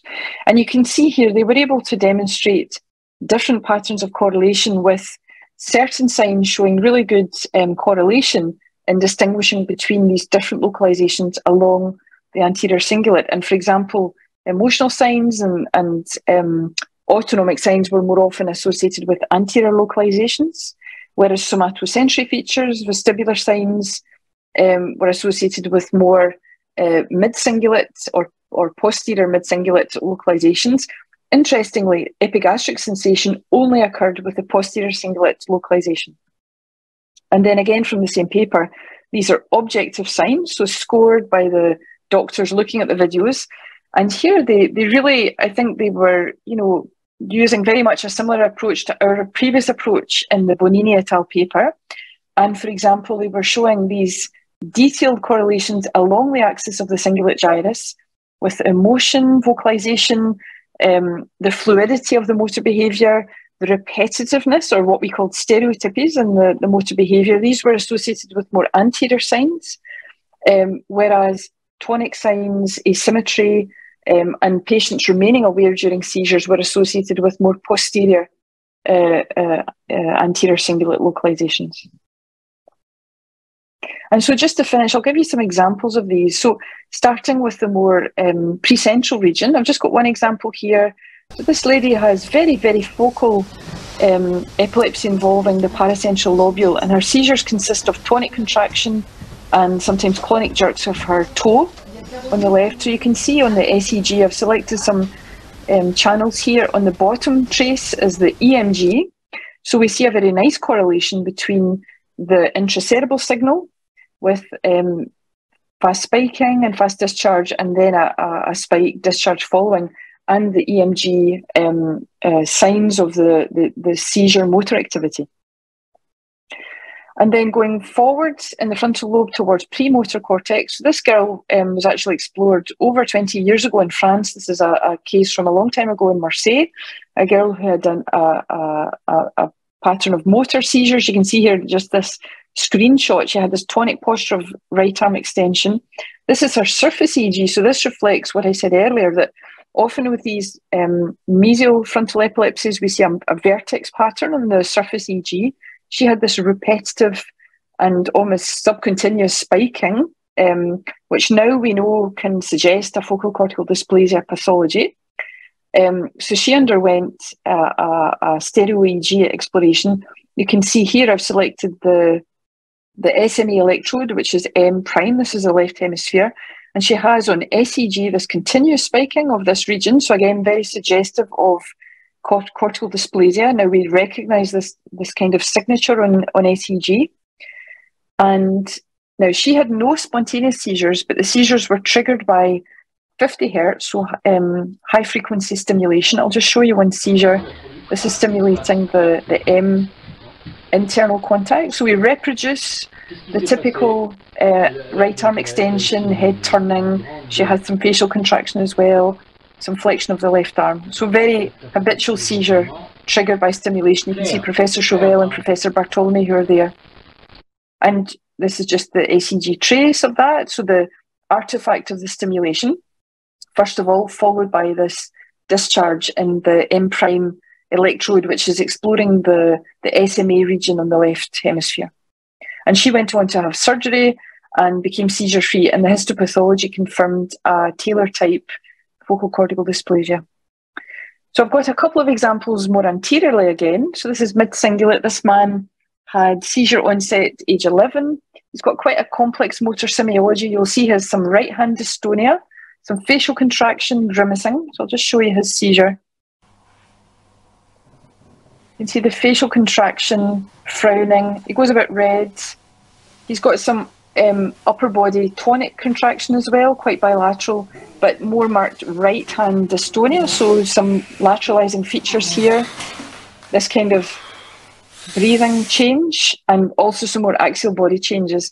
Now, I don't have his MRI to show you, but he had a suspected um, FCD. He had a lesion in his, his mid cingulate region, so he went on to have surgery directly without ACG and he became seizure free. This was an FCD type 2. And then I have another case, which is Again, mid-cingulate, probably slightly more anterior than the previous patient. This is a case from the Alfred Hospital in Melbourne, so I'm very grateful to Professor Terence O'Brien and Dr. Andrew Neal, who kindly agreed to, to share this case with me. So I'll just show you this man's video. He's speaking to Professor O'Brien and starts to have, you can see much more complex motor signs, quite high amplitude movements of his legs, raises both arms above his head, and had a facial change um, and then very quickly recovered and could c- continue the conversation. So he was suspected to have a, um, a focal lesion on MRI. It was quite subtle, but on PET scan there seemed to be a clear, you can see quite nicely on the coronal sign, um, images here, a very focal looking hypometabolism, which would be very suggestive of FCD. He underwent stereo in Melbourne and then um, was able to undergo uh, resection following that, which confirmed the, the localization, and he's become seizure free. And then I'll just finish by showing you some um, more anterior cingulate cases. So um, the first lady on the left, now I must warn you because she's got quite a loud vocalization. She's got the screaming, but I decided to leave it in the video because I think it's important. And this was one of the features that the Italian paper I just mentioned on cingulate semiology, they really highlighted a very emotional character to vocalization in the most anterior portion of the cingulate. So let me just show you this lady's case.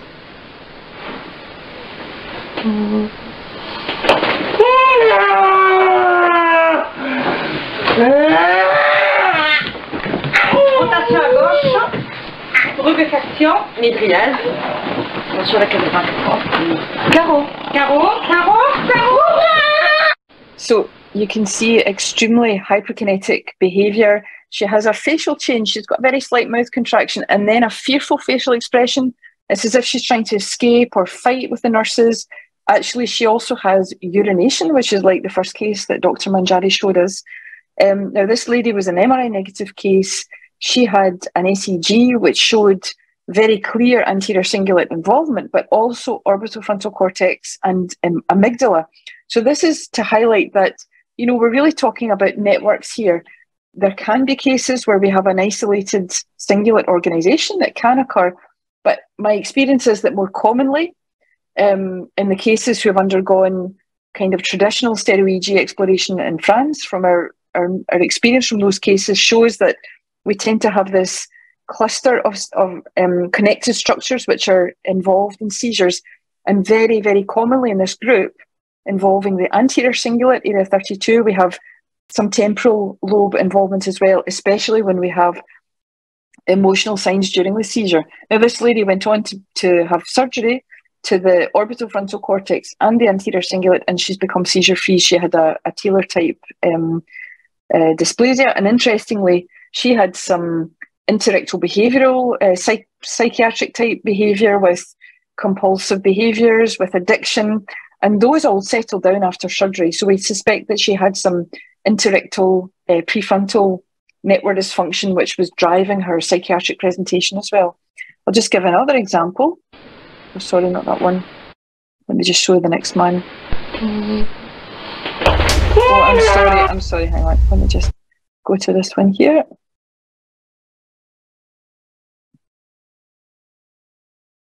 Is that playing? Okay, I'll show you this one first. So this boy has not yet had stereo EEG. He's, on, he's, he's a patient from Brisbane. So we're, you can see he turns onto the prone position and has these very fast hyperkinetic movements of the axial portion, very fast pelvic movements, and he tends to swear during his seizures. So I suspect that he has anterior cingulate involvement in his seizures. He's previously had a right lateral frontal resection, which did nothing to help his seizures.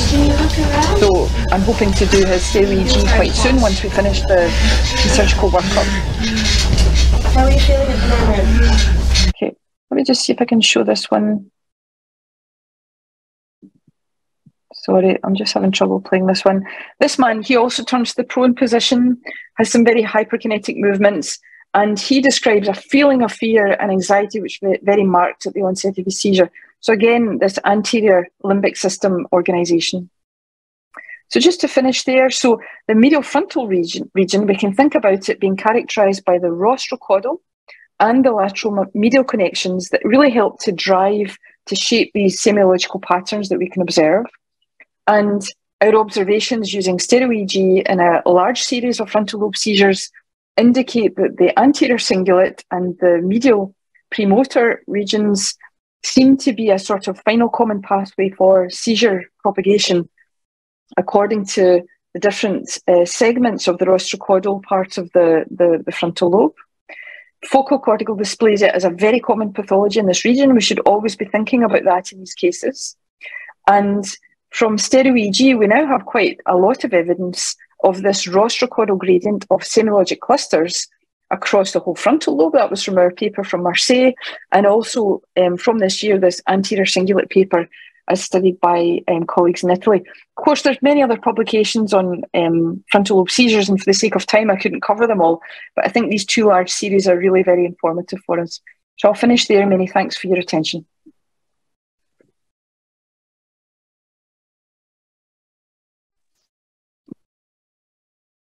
Thank you very much, Professor McGonigal. That was a wonderful presentation. And it was very nice seeing your papers which you have published. Uh, so, uh, are there any comments from uh, Professor uh, Kensuke, Professor Ikeda, Manjari? May I say? Yes, yes, Professor. Did you hear me? Yeah. The brief, uh, the quick question. Aileen, excellent uh, the lecture. I really appreciate. And then the one quick question is, how often did you uh, encounter the patient who had the urinary incontinence as like uh, a present patient? Yes, it's a good question. I was just thinking about that when Dr. Manjari presented her case. So the, the lady with the screaming, she definitely had constant, I mean, it was every single seizure she had incontinence. Otherwise, I think it was rare. I don't recall other patients who consistently had that as part of their semiology. Sometimes patients would report that um, and you know historically during nighttime seizures, but sometimes in those cases we weren't sure if they had perhaps had secondary generalization. You know, of course, that's the commonest um, circumstance in which we patients report urinary incontinence. So, in my experience, it's not a very common feature, um, but it was certainly interesting to see that in the first case. Thank you. Uh, uh, can I make one question? Uh, this is correct. Okay. the I'm impressed. Uh, yeah, the, the uh, kind of uh, uh, theory and the proof of the lateral to medial and the anterior rostral to caudal propagation pattern, and that that is in, the case of the the kind of the localized lesion case or uh, non-MRI uh, negative cases is also uh, you can adopt that theory to non non-lesional cases. Yes, very much so. Because I think um, actually a number of those cases I described were MRI negative cases. We mm. previously did some work in Marseille when I worked there um, to show that we had similar uh, yield of localization and surgical resection and good outcome in MRI negative versus lesional cases. Um, I think that the um, conceptual basis of SEEG, of course, developed before MRI existed because it is a method from the 1960s onwards, so in the pre um, modern imaging era. So I think the key there is a, a good kind of understanding of semiology and a good understanding of brain connectivity in order to determine the exploration strategy and then to really understand the how the different structures interact for the epileptogenic zone. Mm-hmm. So in that frontal lobe series, I think there were about probably 60% were lesional cases and about 40% non-lesional, something like that. I see, I see. So because yeah. uh, I believed uh, in non-regional cases, you know, the kind of uh, network is a kind of, you know, the diffuse and uh, uh, not, you know, one direction, but, uh, you know, the very multiple directions. So if, so your theory applies, then you, there, the, you know, another kind of the surgery would be suggested for disconnection of those you yes. know, propagation route. I, yeah. I think it's a really good comment about MRI negative cases because I think that um, when we're thinking about MRI negative cases with stereo EEG, we must be thinking of the possible localization, but we must also be thinking of the possible etiology. Because in our experience in France, um, I'm talking about France because I've only just come to Australia, so my most of my experience has been in France. Um, the patients who had very good outcome after surgery, and you know, in whom we could confidently localize the epileptogenic zone, they were usually patients who had MRI negative focal cortical dysplasia. We know that quite a number of these FCD may not have a radiological signal. Um, of course, that depends on the resolution of MRI scan and the expertise in each centre. But you know, even with good three Tesla scans, often there can be FCD which are essentially invisible. Perhaps we mm-hmm. have a clue from the PET scan, or so the, the MRI negative cases can have a focal organisation if the underlying etiology is focal. But you're quite mm-hmm. right. Some of them have widespread diffuse organisation, in which case they may not be good candidates for focal resection, and perhaps we have to look at other other approaches. Yeah. Okay, thank you. Mm-hmm.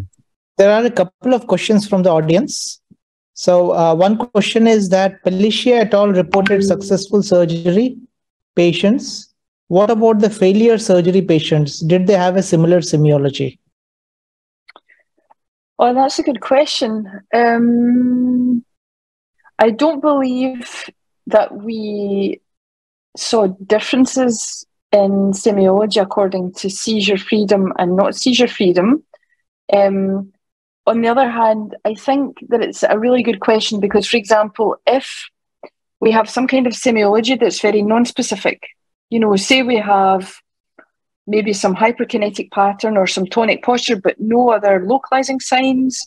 If we have normal MRI, nor we have non-localizing PET and non-localizing MEG and surface EEG, probably there are no clear hypotheses to proceed to stereo EEG. I think SEEG should only be done if we have some kind of clear information um, from semiology plus other supporting data. So um, I guess where I have seen poorer outcomes surgically is when the semiology is not very clear and therefore we don't have a good SEEG implantation strategy because we don't really know in those cases, we should not do a fishing expedition. We should say, well, we don't have a good argument to proceed to, to SEEG.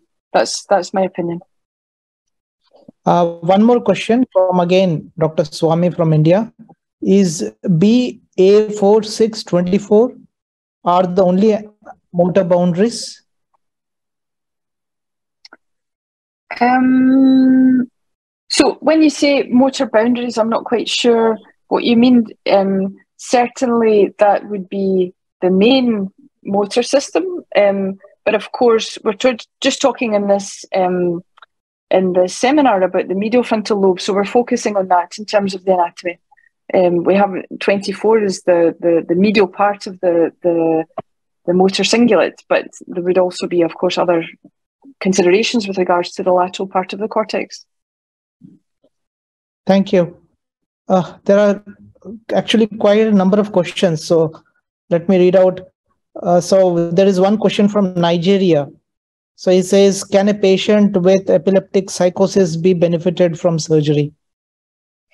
Mm, I think the only indication for surgery is to treat seizures, which are non-responsive to adequate trials of uh, medication. So patients with focal and pharmacoresistant epilepsy, it's the only indication for surgery. Um, sometimes there might be some additional benefit to the patient's psychological state or psychiatric problems with surgery, but we would never perform surgery in order to treat the psychiatric condition. Mm, interestingly, you know, for psychiatric conditions, we do a single cingulotomies. So okay, so I see. It's it's I very close to the area where you have such episodes. Uh, yes. In fact, center we have done single cingulotomy for about three of four patients with obsessive compulsive disorders. And, oh, I uh, see. Okay. And they have, I mean, using the same robotic system and putting an SEEG and then burning them out. And they have done pretty okay. well. Psychiatrists have been quite happy so far. Uh, one more question from Indonesia. do you have any recommendation drug of choice for frontal lobe epilepsy with negative MRI if surgery cannot be done? Um, Yeah. It's a tricky. Oh, sorry. Please, please.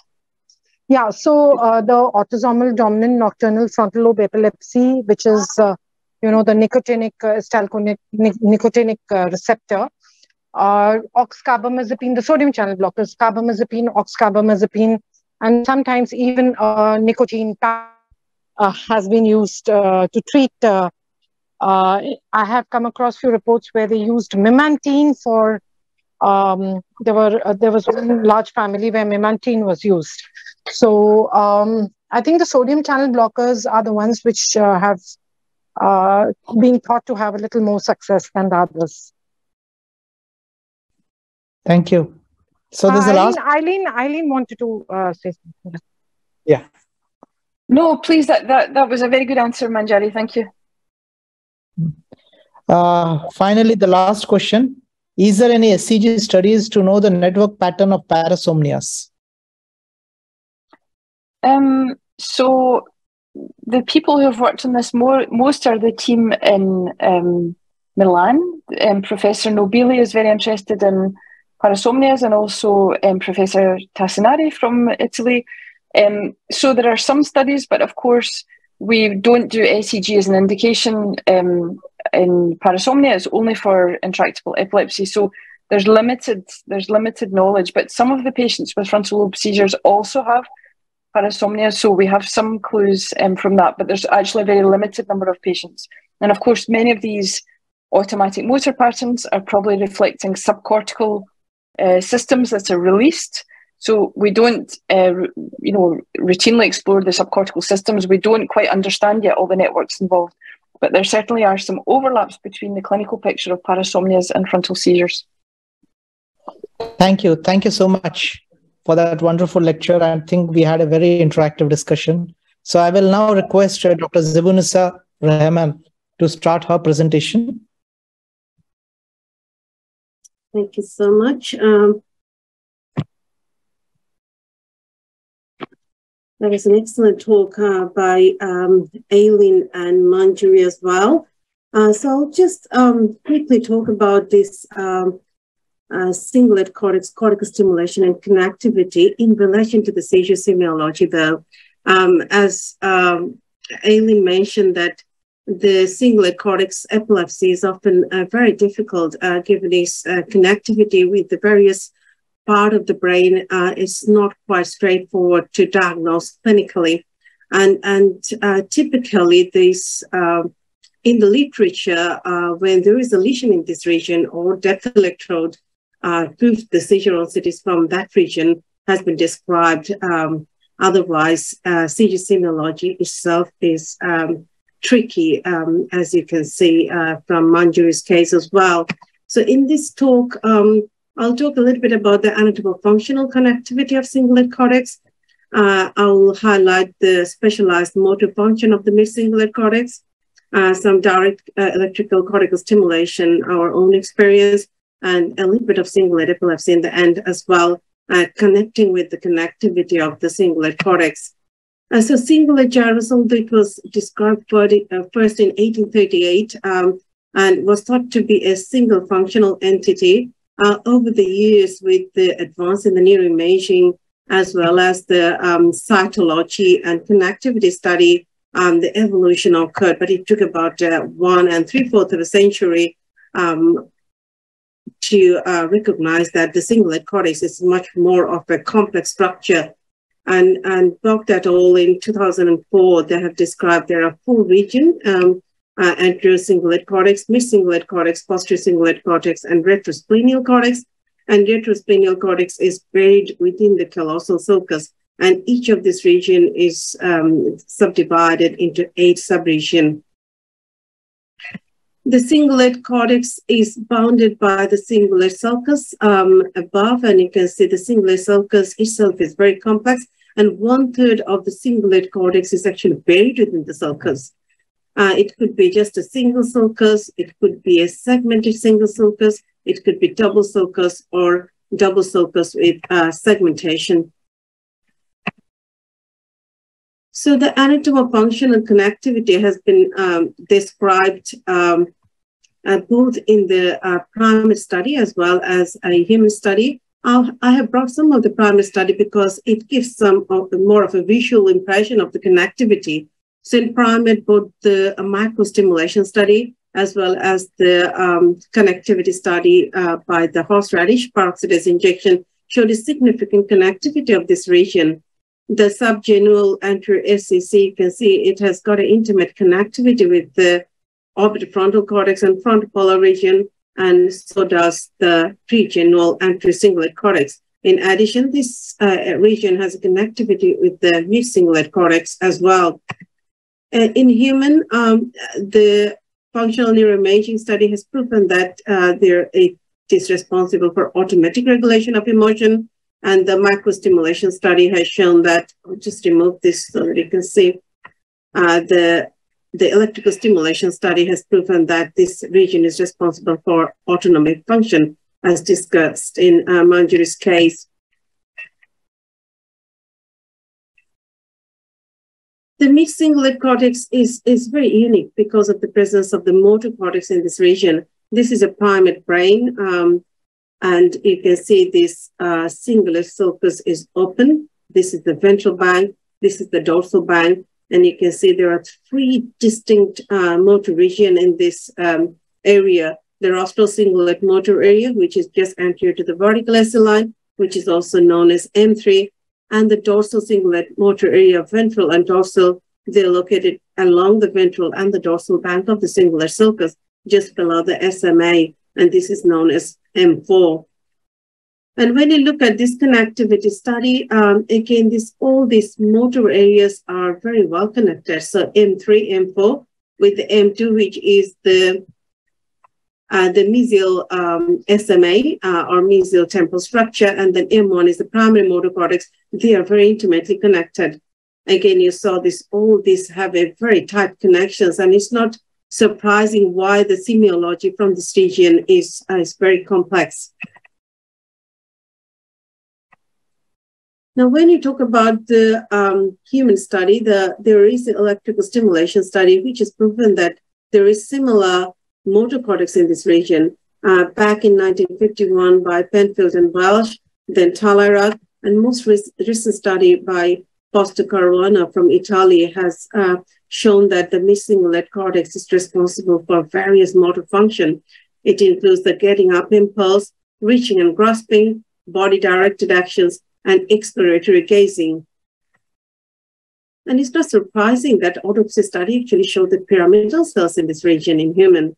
And um, these cells, uh, unlike the primary cortex, uh, motor cortex pyramidal cells, they're immature cells. And it's not surprising why they don't have a, a very formed um, or, or, voluntary movement from this region. Functional PET study also supported that uh, there is a motor region in this um, uh, uh, area of the brain. Uh, finally, the functional neuroimaging study by Céline Amiez has shown that there are distinct um, three cingulate motor region, um, uh, which is uh, corresponding to the, the macaque monkey. And moreover, what they have shown that there is a somatotopic distribution of the motor cortex. So the tongue is more anterior and limb is more posterior. Uh, we have done a uh, prospective study of uh, uh electrical stimulation. We mainly had an interest for the mid-cingulate cortex.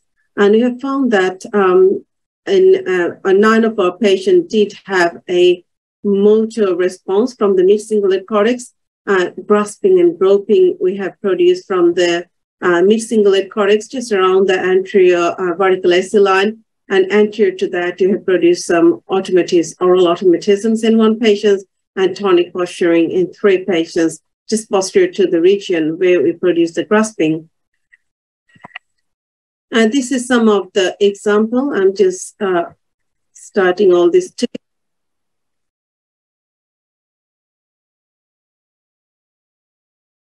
so what we have done that uh, in, in two patients, there is spontaneous grasping, and in three patients, after sensory stimulation, actually, patient did have a grasping.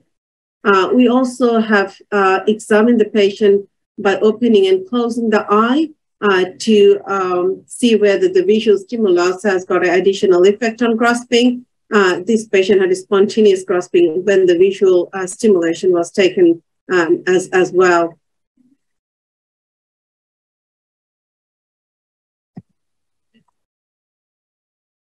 And the grasping is typically produced from the depth of the cingulate sulcus, just you can see, just over or anterior to the vertical SC line, except this case where it was just posterior to the vertical SC line.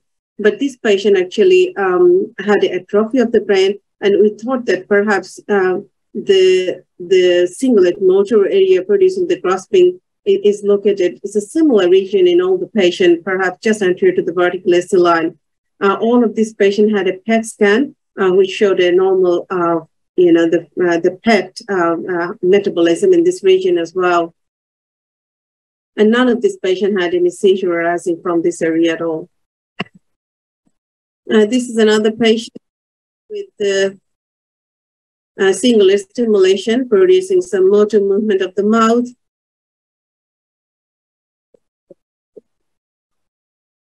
And we told the patient to stick the tongue out.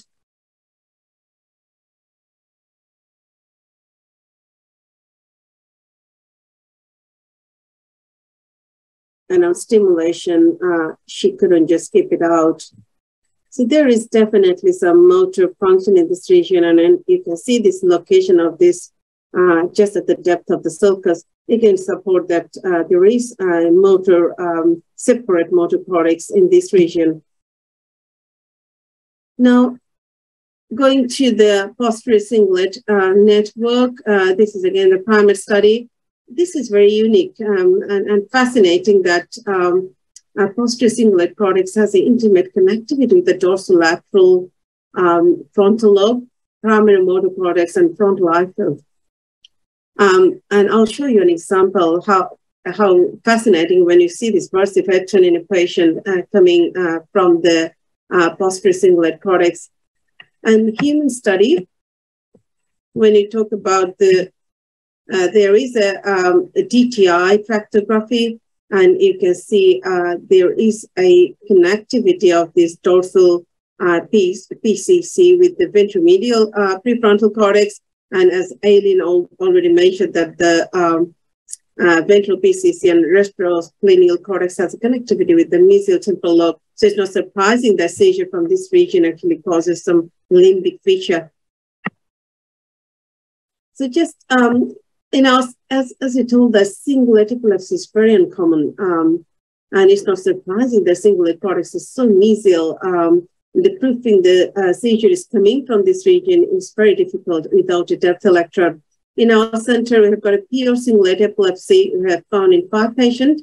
Um, uh, and uh, some of uh, the other patients may have some, uh, you know, the cingulate plus epilepsy, mid cingulate plus about 10 patients, and posterior cingulate plus epilepsy in, in another six patients.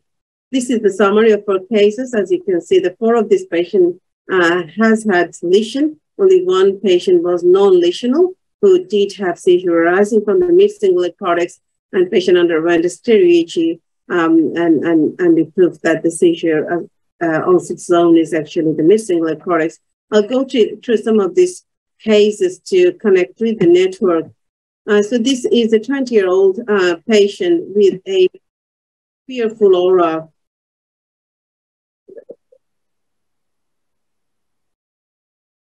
you can see this uh, very um, screaming sound, hypermotor seizure. And at times the patient also complain of the penile erection. And you can see a subtle lesion there um, in the anterior cingulate cortex. And this uh, is not surprising that all this connectivity, the frontopolar and orbitofrontal region, uh, the seizure spread quickly to that network causing hypermotor seizure. And this patient has a focal cortical dysplasia type 2. And you can see this, um, uh, the fearful um, facial expression. And you can also also see this, um, uh, the labial fold is um, uh, uh not quite chapeau de gendarme, but this facial expression is very distinct. Uh, this is a 29-year-old female, uh, again, very fearful aura. That was the typical uh, complaint from the patient. And with this complex motor movement, it's not quite hyperkinetic, but both uh, proximal and distal movement. You can see the facial expression is very distinct. Sorry that I can't hear the um, sound here, but she did have a screaming as well. And the series proved that onset zone is in the mid-cingulate cortex. Again, the connectivity supports all this um, uh, beautiful network. This is another patient with a 27-year-old male um, uh, with the look at this seizure. It's very fascinating. A right versive head turn with some body turn, rapidly progressing to a few hyperkinetic movement and secondary generalization. So this patient has a lesion in the posterior cingulate cortex and the histopathology has proven it's an oligoastrocytoma W grade 2. Uh, so this this uh, connect understanding this connection is important um, and uh, it's if we see just the seizure without connecting to other aspects, or if there is no lesion, it would be really difficult to localize this seizure in the uh, posterior cingulate region. So I'll just um, quickly go through some of the literature um, uh, with the uh, cingulate. Um, I have removed some of the um, literature, which is already discussed by Aileen. Uh, the so anti-cingulate epilepsy typically described by Bancaud and Talairach in 1992. And uh, this is the typical description that intense pride, screaming, aggressive verbalization, co complex gestural automatisms. And subsequently, um, there are other case series. Um, uh, the Leahy in 2011 has described 19 patients uh, with anterocingulate seizures, and 16 of these patients had a MRI lesion. And again, they have discussed about this vocalization, hypermotor seizure, and tonic posturing. But the typical or commonality of these seizures, I would say that um, the vocalization, screaming, and interfere, uh, followed by a hyperkinetic movement. Uh, but there are some atypical features, uh, uh, including the myoclonic jerk um, uh, and a clonic seizure as well in this region, but these are very uncommon the further study by um, Alkawadri in 2013 has described uh, typical or Bancaud type seizure in six uh, patients and atypical group uh, four. And they have also described that simple motor seizure can occur uh, from this region. Uh, so that, that makes it very complex to diagnose uh, anterocingulate epilepsy without lesion, uh, very challenging. Uh, further st study by um, uh, Souirti et al. in 2014 also uh, described the ictal pouting. Um, the patient I showed there from anterocingulate um, seizure has some, it's not quite sharp, but there is some, uh, uh, at least unilateral pouting, I would say. And they have shown that the eight out of the nine patients had a ictal pouting from this region. The mixing cortex epilepsy, um, Again, uh, this is a case by Brazil. Uh, it's a beautiful paper uh, where the patient had an alien hand syndrome during the seizure, like a grasping, uh, and uh, this patient had a lesion in the uh, cingulate sulcus. there are further studies by Paul et al. in 2018. they have shown, you know, they described two seizures from mid-cingulate region, and both of them had lesions. When there is a lesion, it's very easy to connect this uh, with the semiology, but otherwise this lightheadedness, uh, dysphagia, tonic posturing, um, and, and this, you know, the uh, chronology of symptoms would be very confusing. So posterior cingulate uh, cardiac seizure, again, uh, three cases were described by Leahy in 2011. Um, uh, and uh, they describe the bilateral tonic posturing, contralateral arm posturing, um, and we know that there is some connectivity with the mesial, um, uh, the frontal structure uh, that is responsible for that. Uh, again, Enatsu et al. in 2013 described seven patients, an automotor seizure dialeptic seizure, bilateral tonic seizure, and hypermotor seizure. So it's a varieties of seizure related to this posterior cingulate cortex epilepsy um, uh, is described in the literature.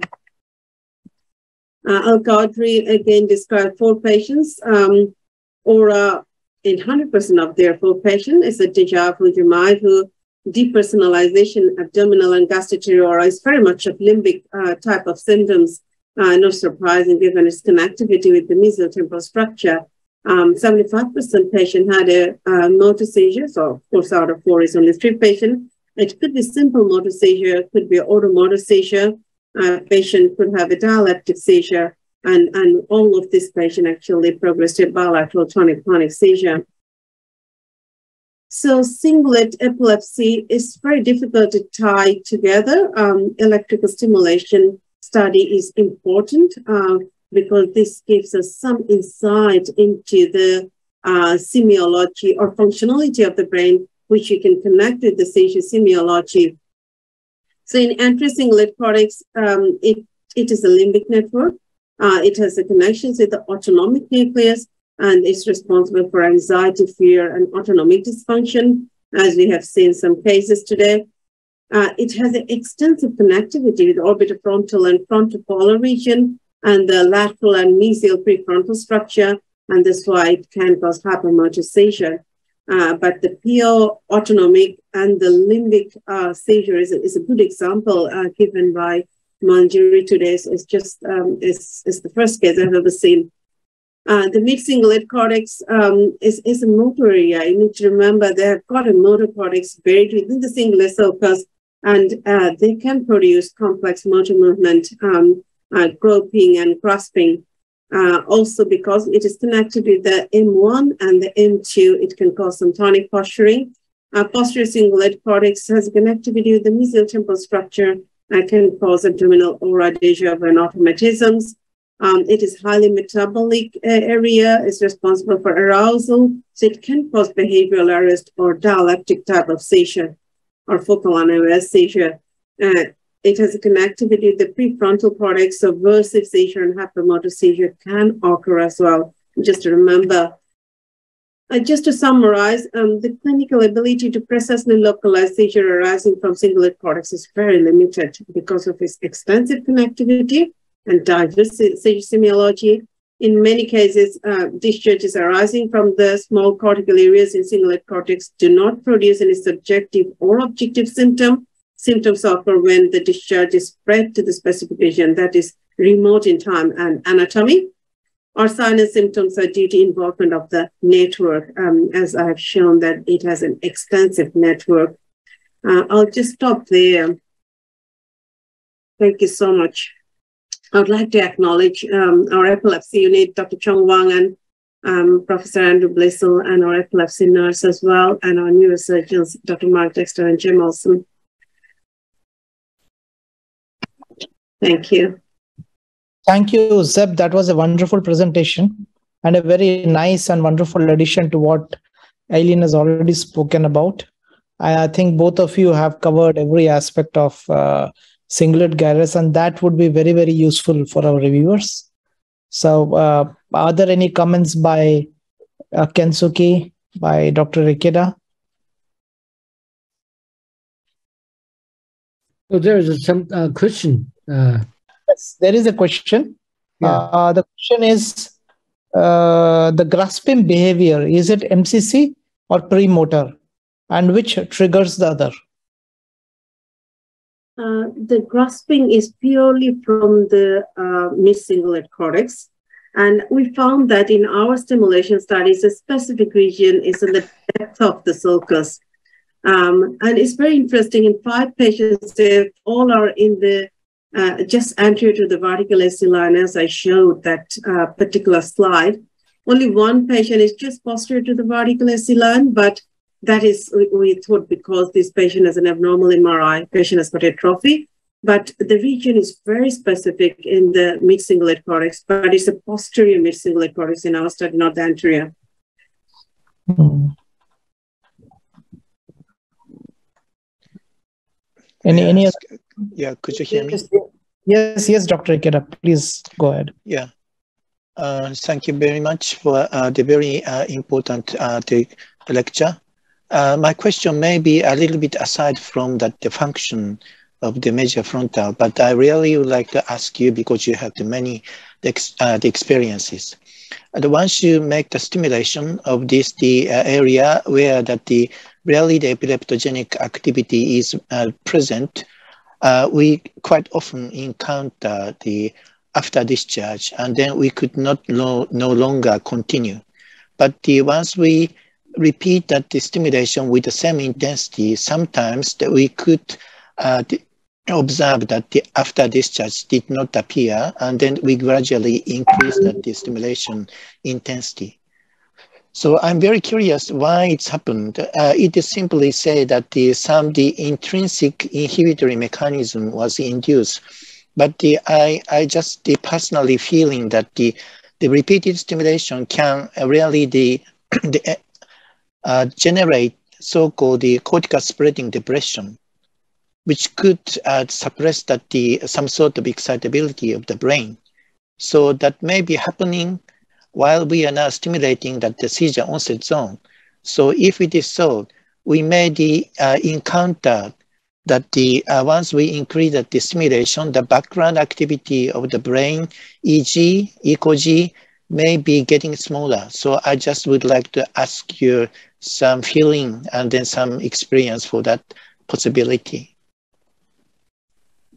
Now, with the after discharges in the EEG, uh, uh, when we just stimulate, I I stop that. But when you see that, when you increase the stimulation current, you may not see the after discharges because of the suppression. So my experience is that I actually increase the current.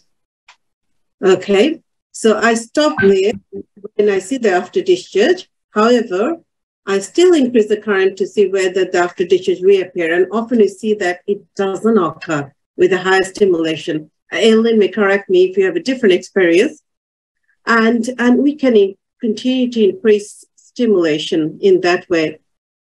I think that's the I don't know whether I have correctly understood what your exact query is. Um, the, but, after discharges itself, I think indicate a hyperpolarization.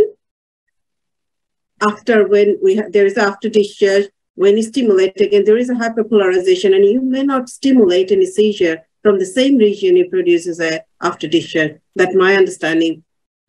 Did I did I correctly understand your question? Is that the question? No, uh, the okay. So the, I really would like to know that the you actually have the, exactly the same experience for us, namely, once we have the after discharge, we mm-hmm. could stimulate or we could wait and then we could stimulate the same intensity after discharge may disappear and then we could gradually again start mm-hmm. increasing mm-hmm. the intensity. That's what I would like to ask. It is correct? Yeah, I, I do that. Okay. I normally okay. increase okay. it. Uh, and and often you, you don't see that um, at all. Yeah. So that's that's that, that's prompt. Uh, that reminds me uh, the possibility of the cortical spreading depression, which we yeah. uh, actually the uh, elicited. That is my hypothesis. Thank you very much. Yeah, yeah, exactly. Uh, but uh, the physiological mechanism, perhaps a hyperpolarization. Um, uh, yeah, the uh, yeah. as a matter of fact, the, the cortical spreading depression used to be uh, understood as the hyperpolarization, but it it was actually preceded by that the cortical spreading depolarization initially. So it makes mm. sense that the the uh, presence of after discharge happened. Then the it's now the getting calm so it makes sense. That's what I feel at this moment. Thank you very much. There is a question from Canada. What are the functional deficits expected following cingulate resections? Uh, no functional deficit should occur in, in our experience. A very limited case we have done. Aileen, any uh, experience? There can be uh, sometimes uh, because the mesial frontal uh, cingulate, uh, particularly the anterior ablations uh, or uh, destructive lesions like stroke or you know tumors in that region can cause uh, akinesia and cause abulia. Mm, it can cause mood yes. changes.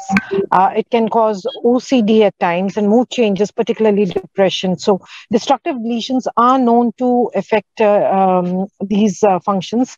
And I think uh, there is some literature on uh, uh, producing some change in the you know metacognitive processes about thinking and those kind of things. So um, yes, uh, there could be deficits which produce particularly in large lesions and large. Yeah, I would agree. I think um, I've seen a patient with a kind of apathy and akinesia type picture, which was transient. That's kind of resolved within two to three days post-op, but he had quite a large resection, including motor cingulate. Um, but there was no there was no actual um, motor deficit. There was no hemiparesis or anything. So yes, patients usually seem to to tolerate um, resections in this region quite well. I don't know if any of the neurosurgeons have a comment on that. Um, nothing more than what Manjari has already commented. Uh, but generally, akinesia and aboulia, they occur usually with very large strokes, uh, not yeah. with focal lesions. And uh, you know, even if uh, it uh, looks like uh, the unilateral lesion, uh, large lesion, uh, uh, even often after surgery, involves you know temporarily the kind of bilateral the cingulate, and the, in that case, you know the the patient have a tendency to show the symptoms. I, I guess. there is one more question from India does hypersynchronization of SMA and motor CC on SEEG needs removal of both?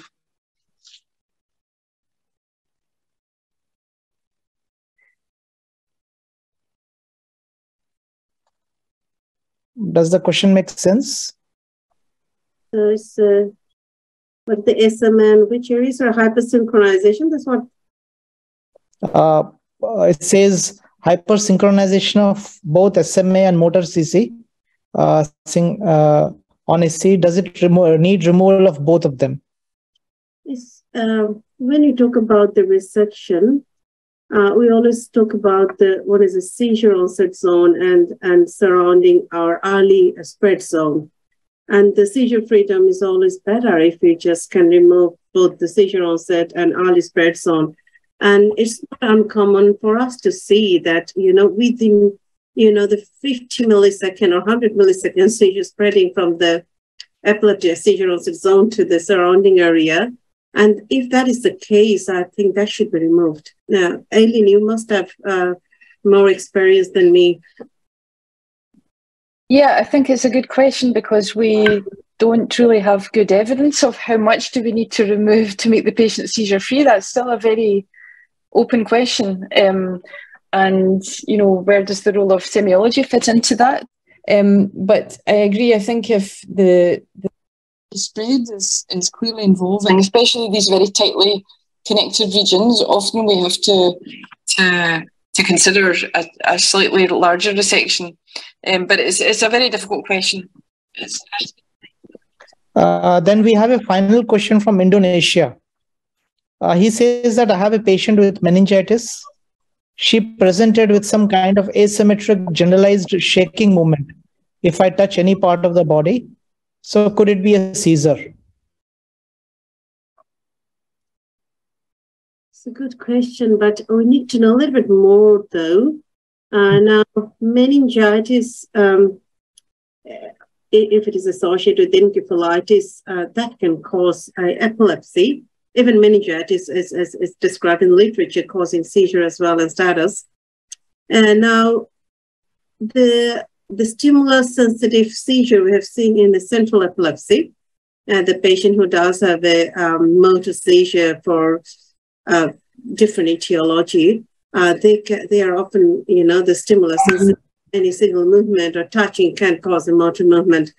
Uh, but that should be a um, localized or lateralized rather, rather than seizure arising from everywhere. So um, I don't have experience of, of, of this at all, uh, but I have patients with a, atypical Rasmussen encephalitis and others who does have a motor seizure, and, and uh, they're very stimulus sensitive. So, so we come May to the I end of.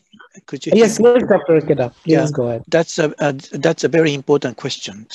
I certainly understand that the patient underwent the meningitis or encephalitis. It can have some sort of uh, a functional impairment, more or less the uh, wider area. The once they have the wider area of the uh, impairment, the patient actually try to uh, they have uh, so-called the stimulus sensitive seizure. So it can be not elicited by that the touch but also some sounds or the photic stimulation. So therefore, it could be better to check that the, this seizure can be elicited by the other modalities. So if it is so, it is uh, much more likely caused by that the uh, uh, the larger impairment of the brain caused by the inflammation. That is my the uh, experience. Thank you. Thank you very much. So we have come to the end of this webinar. I- think overall it's been a wonderful learning lesson, lesson and we have gone through all aspects of uh, medial uh, frontal epilepsy. And I will request my co-convener, uh, Professor Kensuke, to uh, provide the last words before we close up this session. Okay, so uh, the thanks to uh, the Dr. Aileen uh, McGonigal and uh, the uh, Dr. Uh, the, Rahman, uh, the as we expected, uh, the, the today's we- webinar became uh, the very uh, the interesting and the uh, stimulating uh, the one, and I uh, we really the thank those two the great the invited faculties uh, because you know uh, this is already uh, far beyond midnight uh, in uh, Australia. So I really thank you uh, for your contribution uh, until this uh, late. Uh, thank you very much.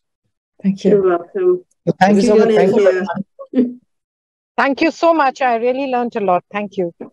Me Bye-bye. too, Manjari. Thank Yeah, you. me too. Yeah. Me too. An Me. Have a good case, sleep, Manjari. Okay. Have a good Have a wonderful- Sorry, sorry to Yeah. keep you awake so Have a wonderful weekend. Thank you, Professor Ikeda. You Thank you, too. Kensuke. Thank you. Bye bye. Yeah. Thank you, everybody. Bye bye. Have a good uh, weekend. Have a good have a good Yeah. night. You Yeah. too. Thank you.